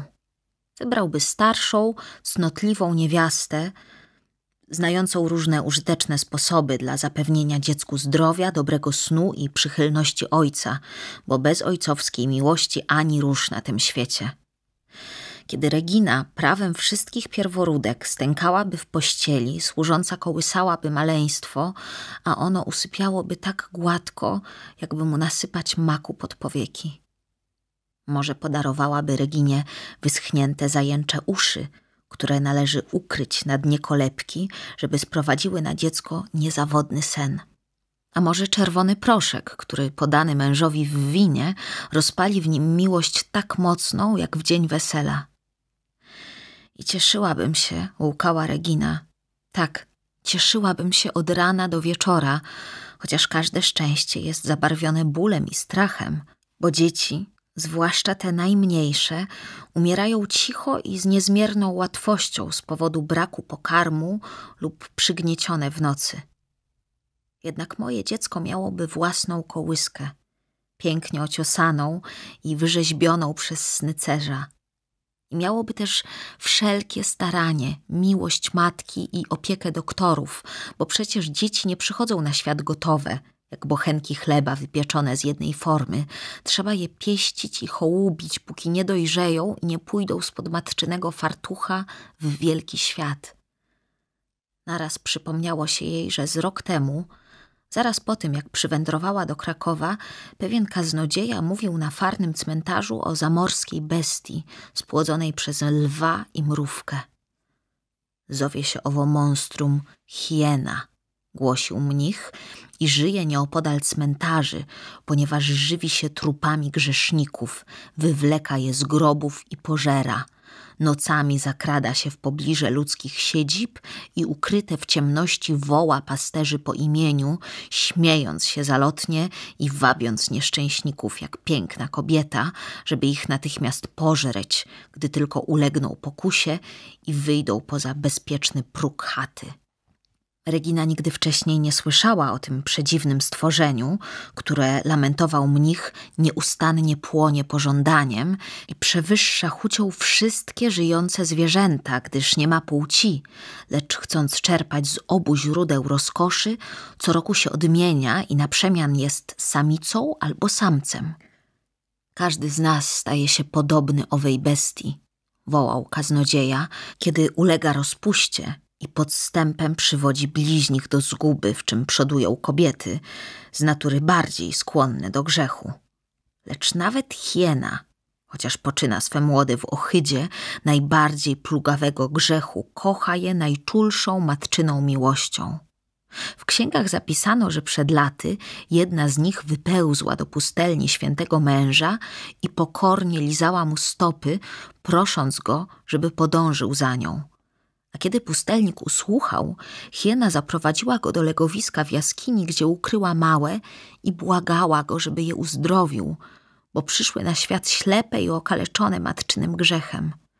Święty pomodlił się, jak prosiła, gdyż wzruszyły go łzy matki. Nawet najgorsza matka kocha bowiem swoje dziecię. Niedźwiedzica własnym językiem nadaje potomstwu kształt, bo jej małe rodzą się nieuformowane. Podobnie czyni dobra matka, wychowując swe dziatki w wierze i zacności dla zbawienia ich, jak również własnej duszy. Gdybym miała dziecko, myślała Regina, gdybym miała prawdziwe dziecko, choćby i bękarta, kochałabym je bardziej niż cokolwiek na świecie. Tyle, że zamiast dziecka, które mogłabym kochać, strzec i pielęgnować, urodziłam potworka. Kiedy spoglądała na niemowlę, myślała tylko o tym, żeby zostawić to pokraczne szczenie i gnać przed siebie, jakby jej wyrosły na plecach skrzydła.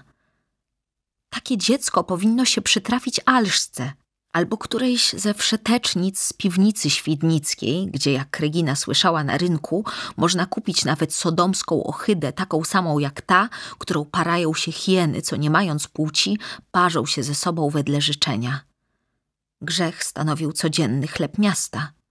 Każdego dnia córki wymykały się z domów w objęcia gachów, Żony podawały mężom trutkę w konwi piwa, przekupnie oszukiwali na miarach, złodzieje wykradali jałmużnę z kościelnych puszek, słudzy podpalali domy nielitościwych panów, a gwałtownicy napadali zbrojnie na swoich wrogów. Dlaczego więc właśnie jej, Reginie, przyszło urodzić monstrum? Ale jeśli zaraz ucieknie, może zdoła się uratować. Alszka odchowa jej córkę – Wszak i teraz opiekuje się nią zręczniej niż rodzona matka. Od początku dostrzegła w małym potworku okazję do zarobku, bo nie z dobrego serca przygarnęła Reginę i przyprowadziła do piwnicy rączki. Niechże więc przyuczy małą do swojego rzemiosła. Cóż za strata. Próbowała się podnieść, lecz nogi miękły pod nią i oczy zamykały się ze zmęczenia i wszystko wokół stawało się mętne, rozemglone. Wreszcie sama, nie wiedząc kiedy, skuliła się i usnęła za gnojną górką, osłonięta przed wiatrem i strudzona straszliwą gonitwą, która jeszcze się wcale nie rozpoczęła. Rano Alszka przyprowadziła jej pierwszego klienta, a po nim następnego i kolejnych. Także zanim skończył się tydzień, służąca straciła rachubę i zagubiła się na dobre w tłumie męskich twarzy. Nie, Rączka nie zmuszał Reginy do nierządu, bo kto by ją taką chciał, wciąż niesklęśniętą po porodzie i opuchłą od płaczu. Zresztą wcale nie szło o Reginę.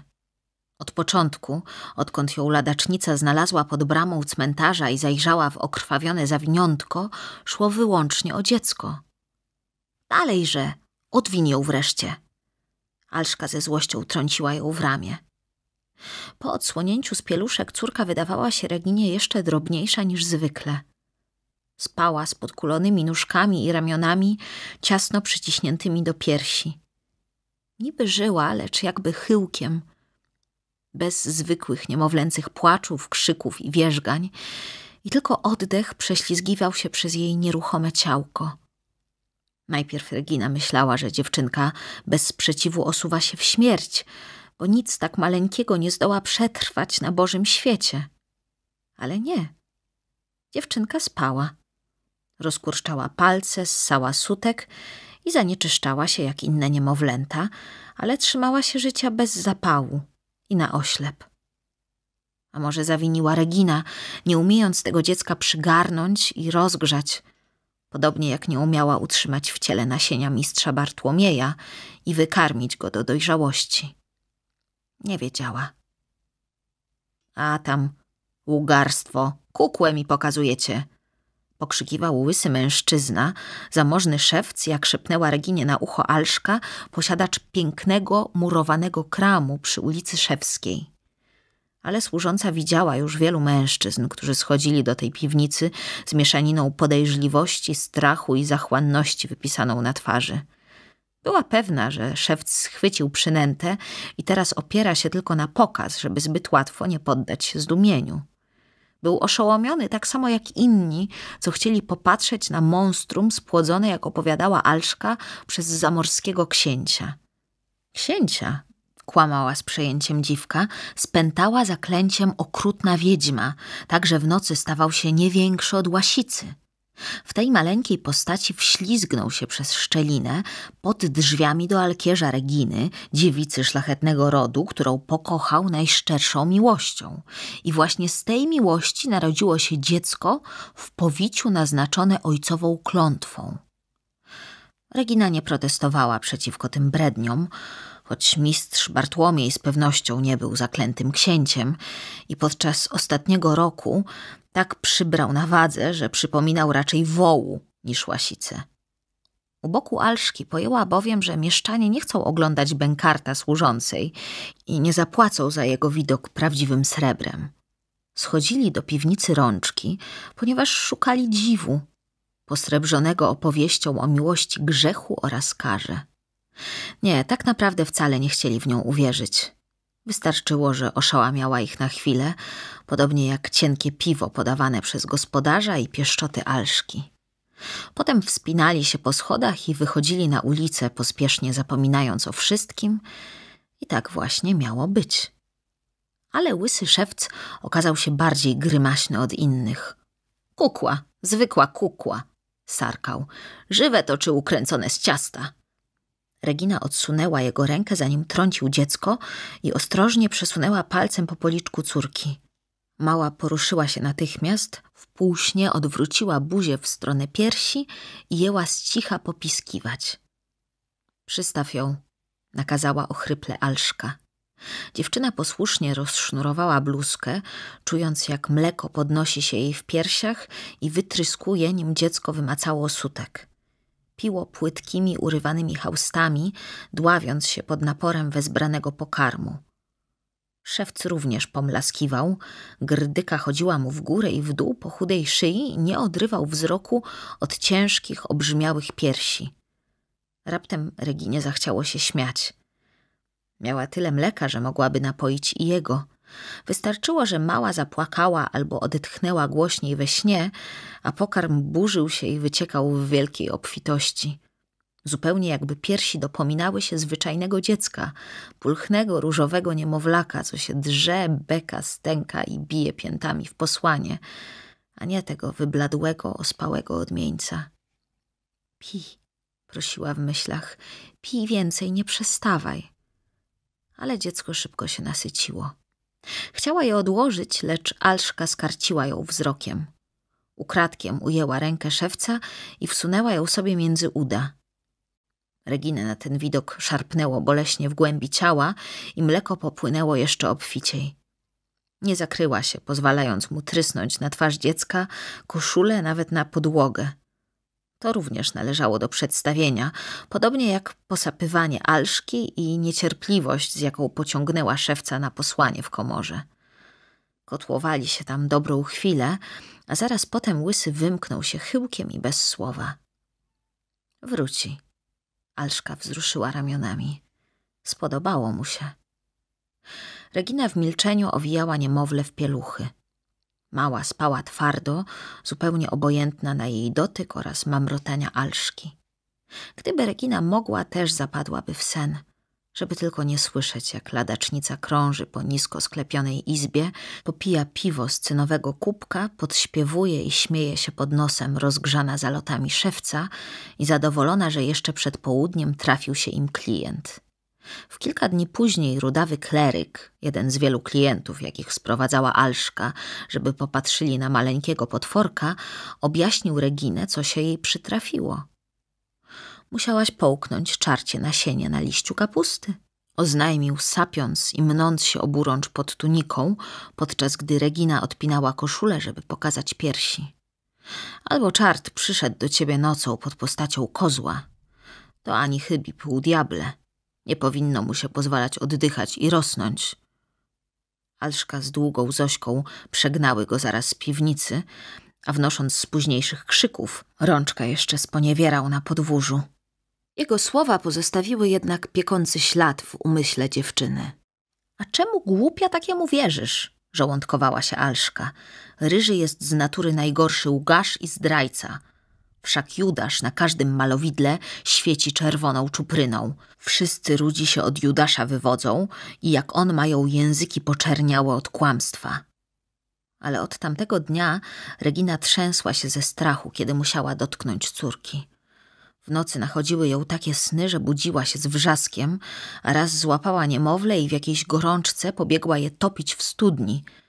Ledwo ją ladacznice dopadły na schodach. Dziecko się darło, Regina zawodziła. Uciszył ją dopiero rączka, który tak ją strzelił w pysk, że omdlała. Następnego ranka szynkarz przywołał bakałaża z bursy ubogich, który długo i uczenie wywodził, że dziecię bez wątpienia należy do rodu Adama. Głowę ma ludzką, a w głowie mieszczą się najważniejsze człowiecze właściwości dusza, rozum i zmysły, tłumaczył.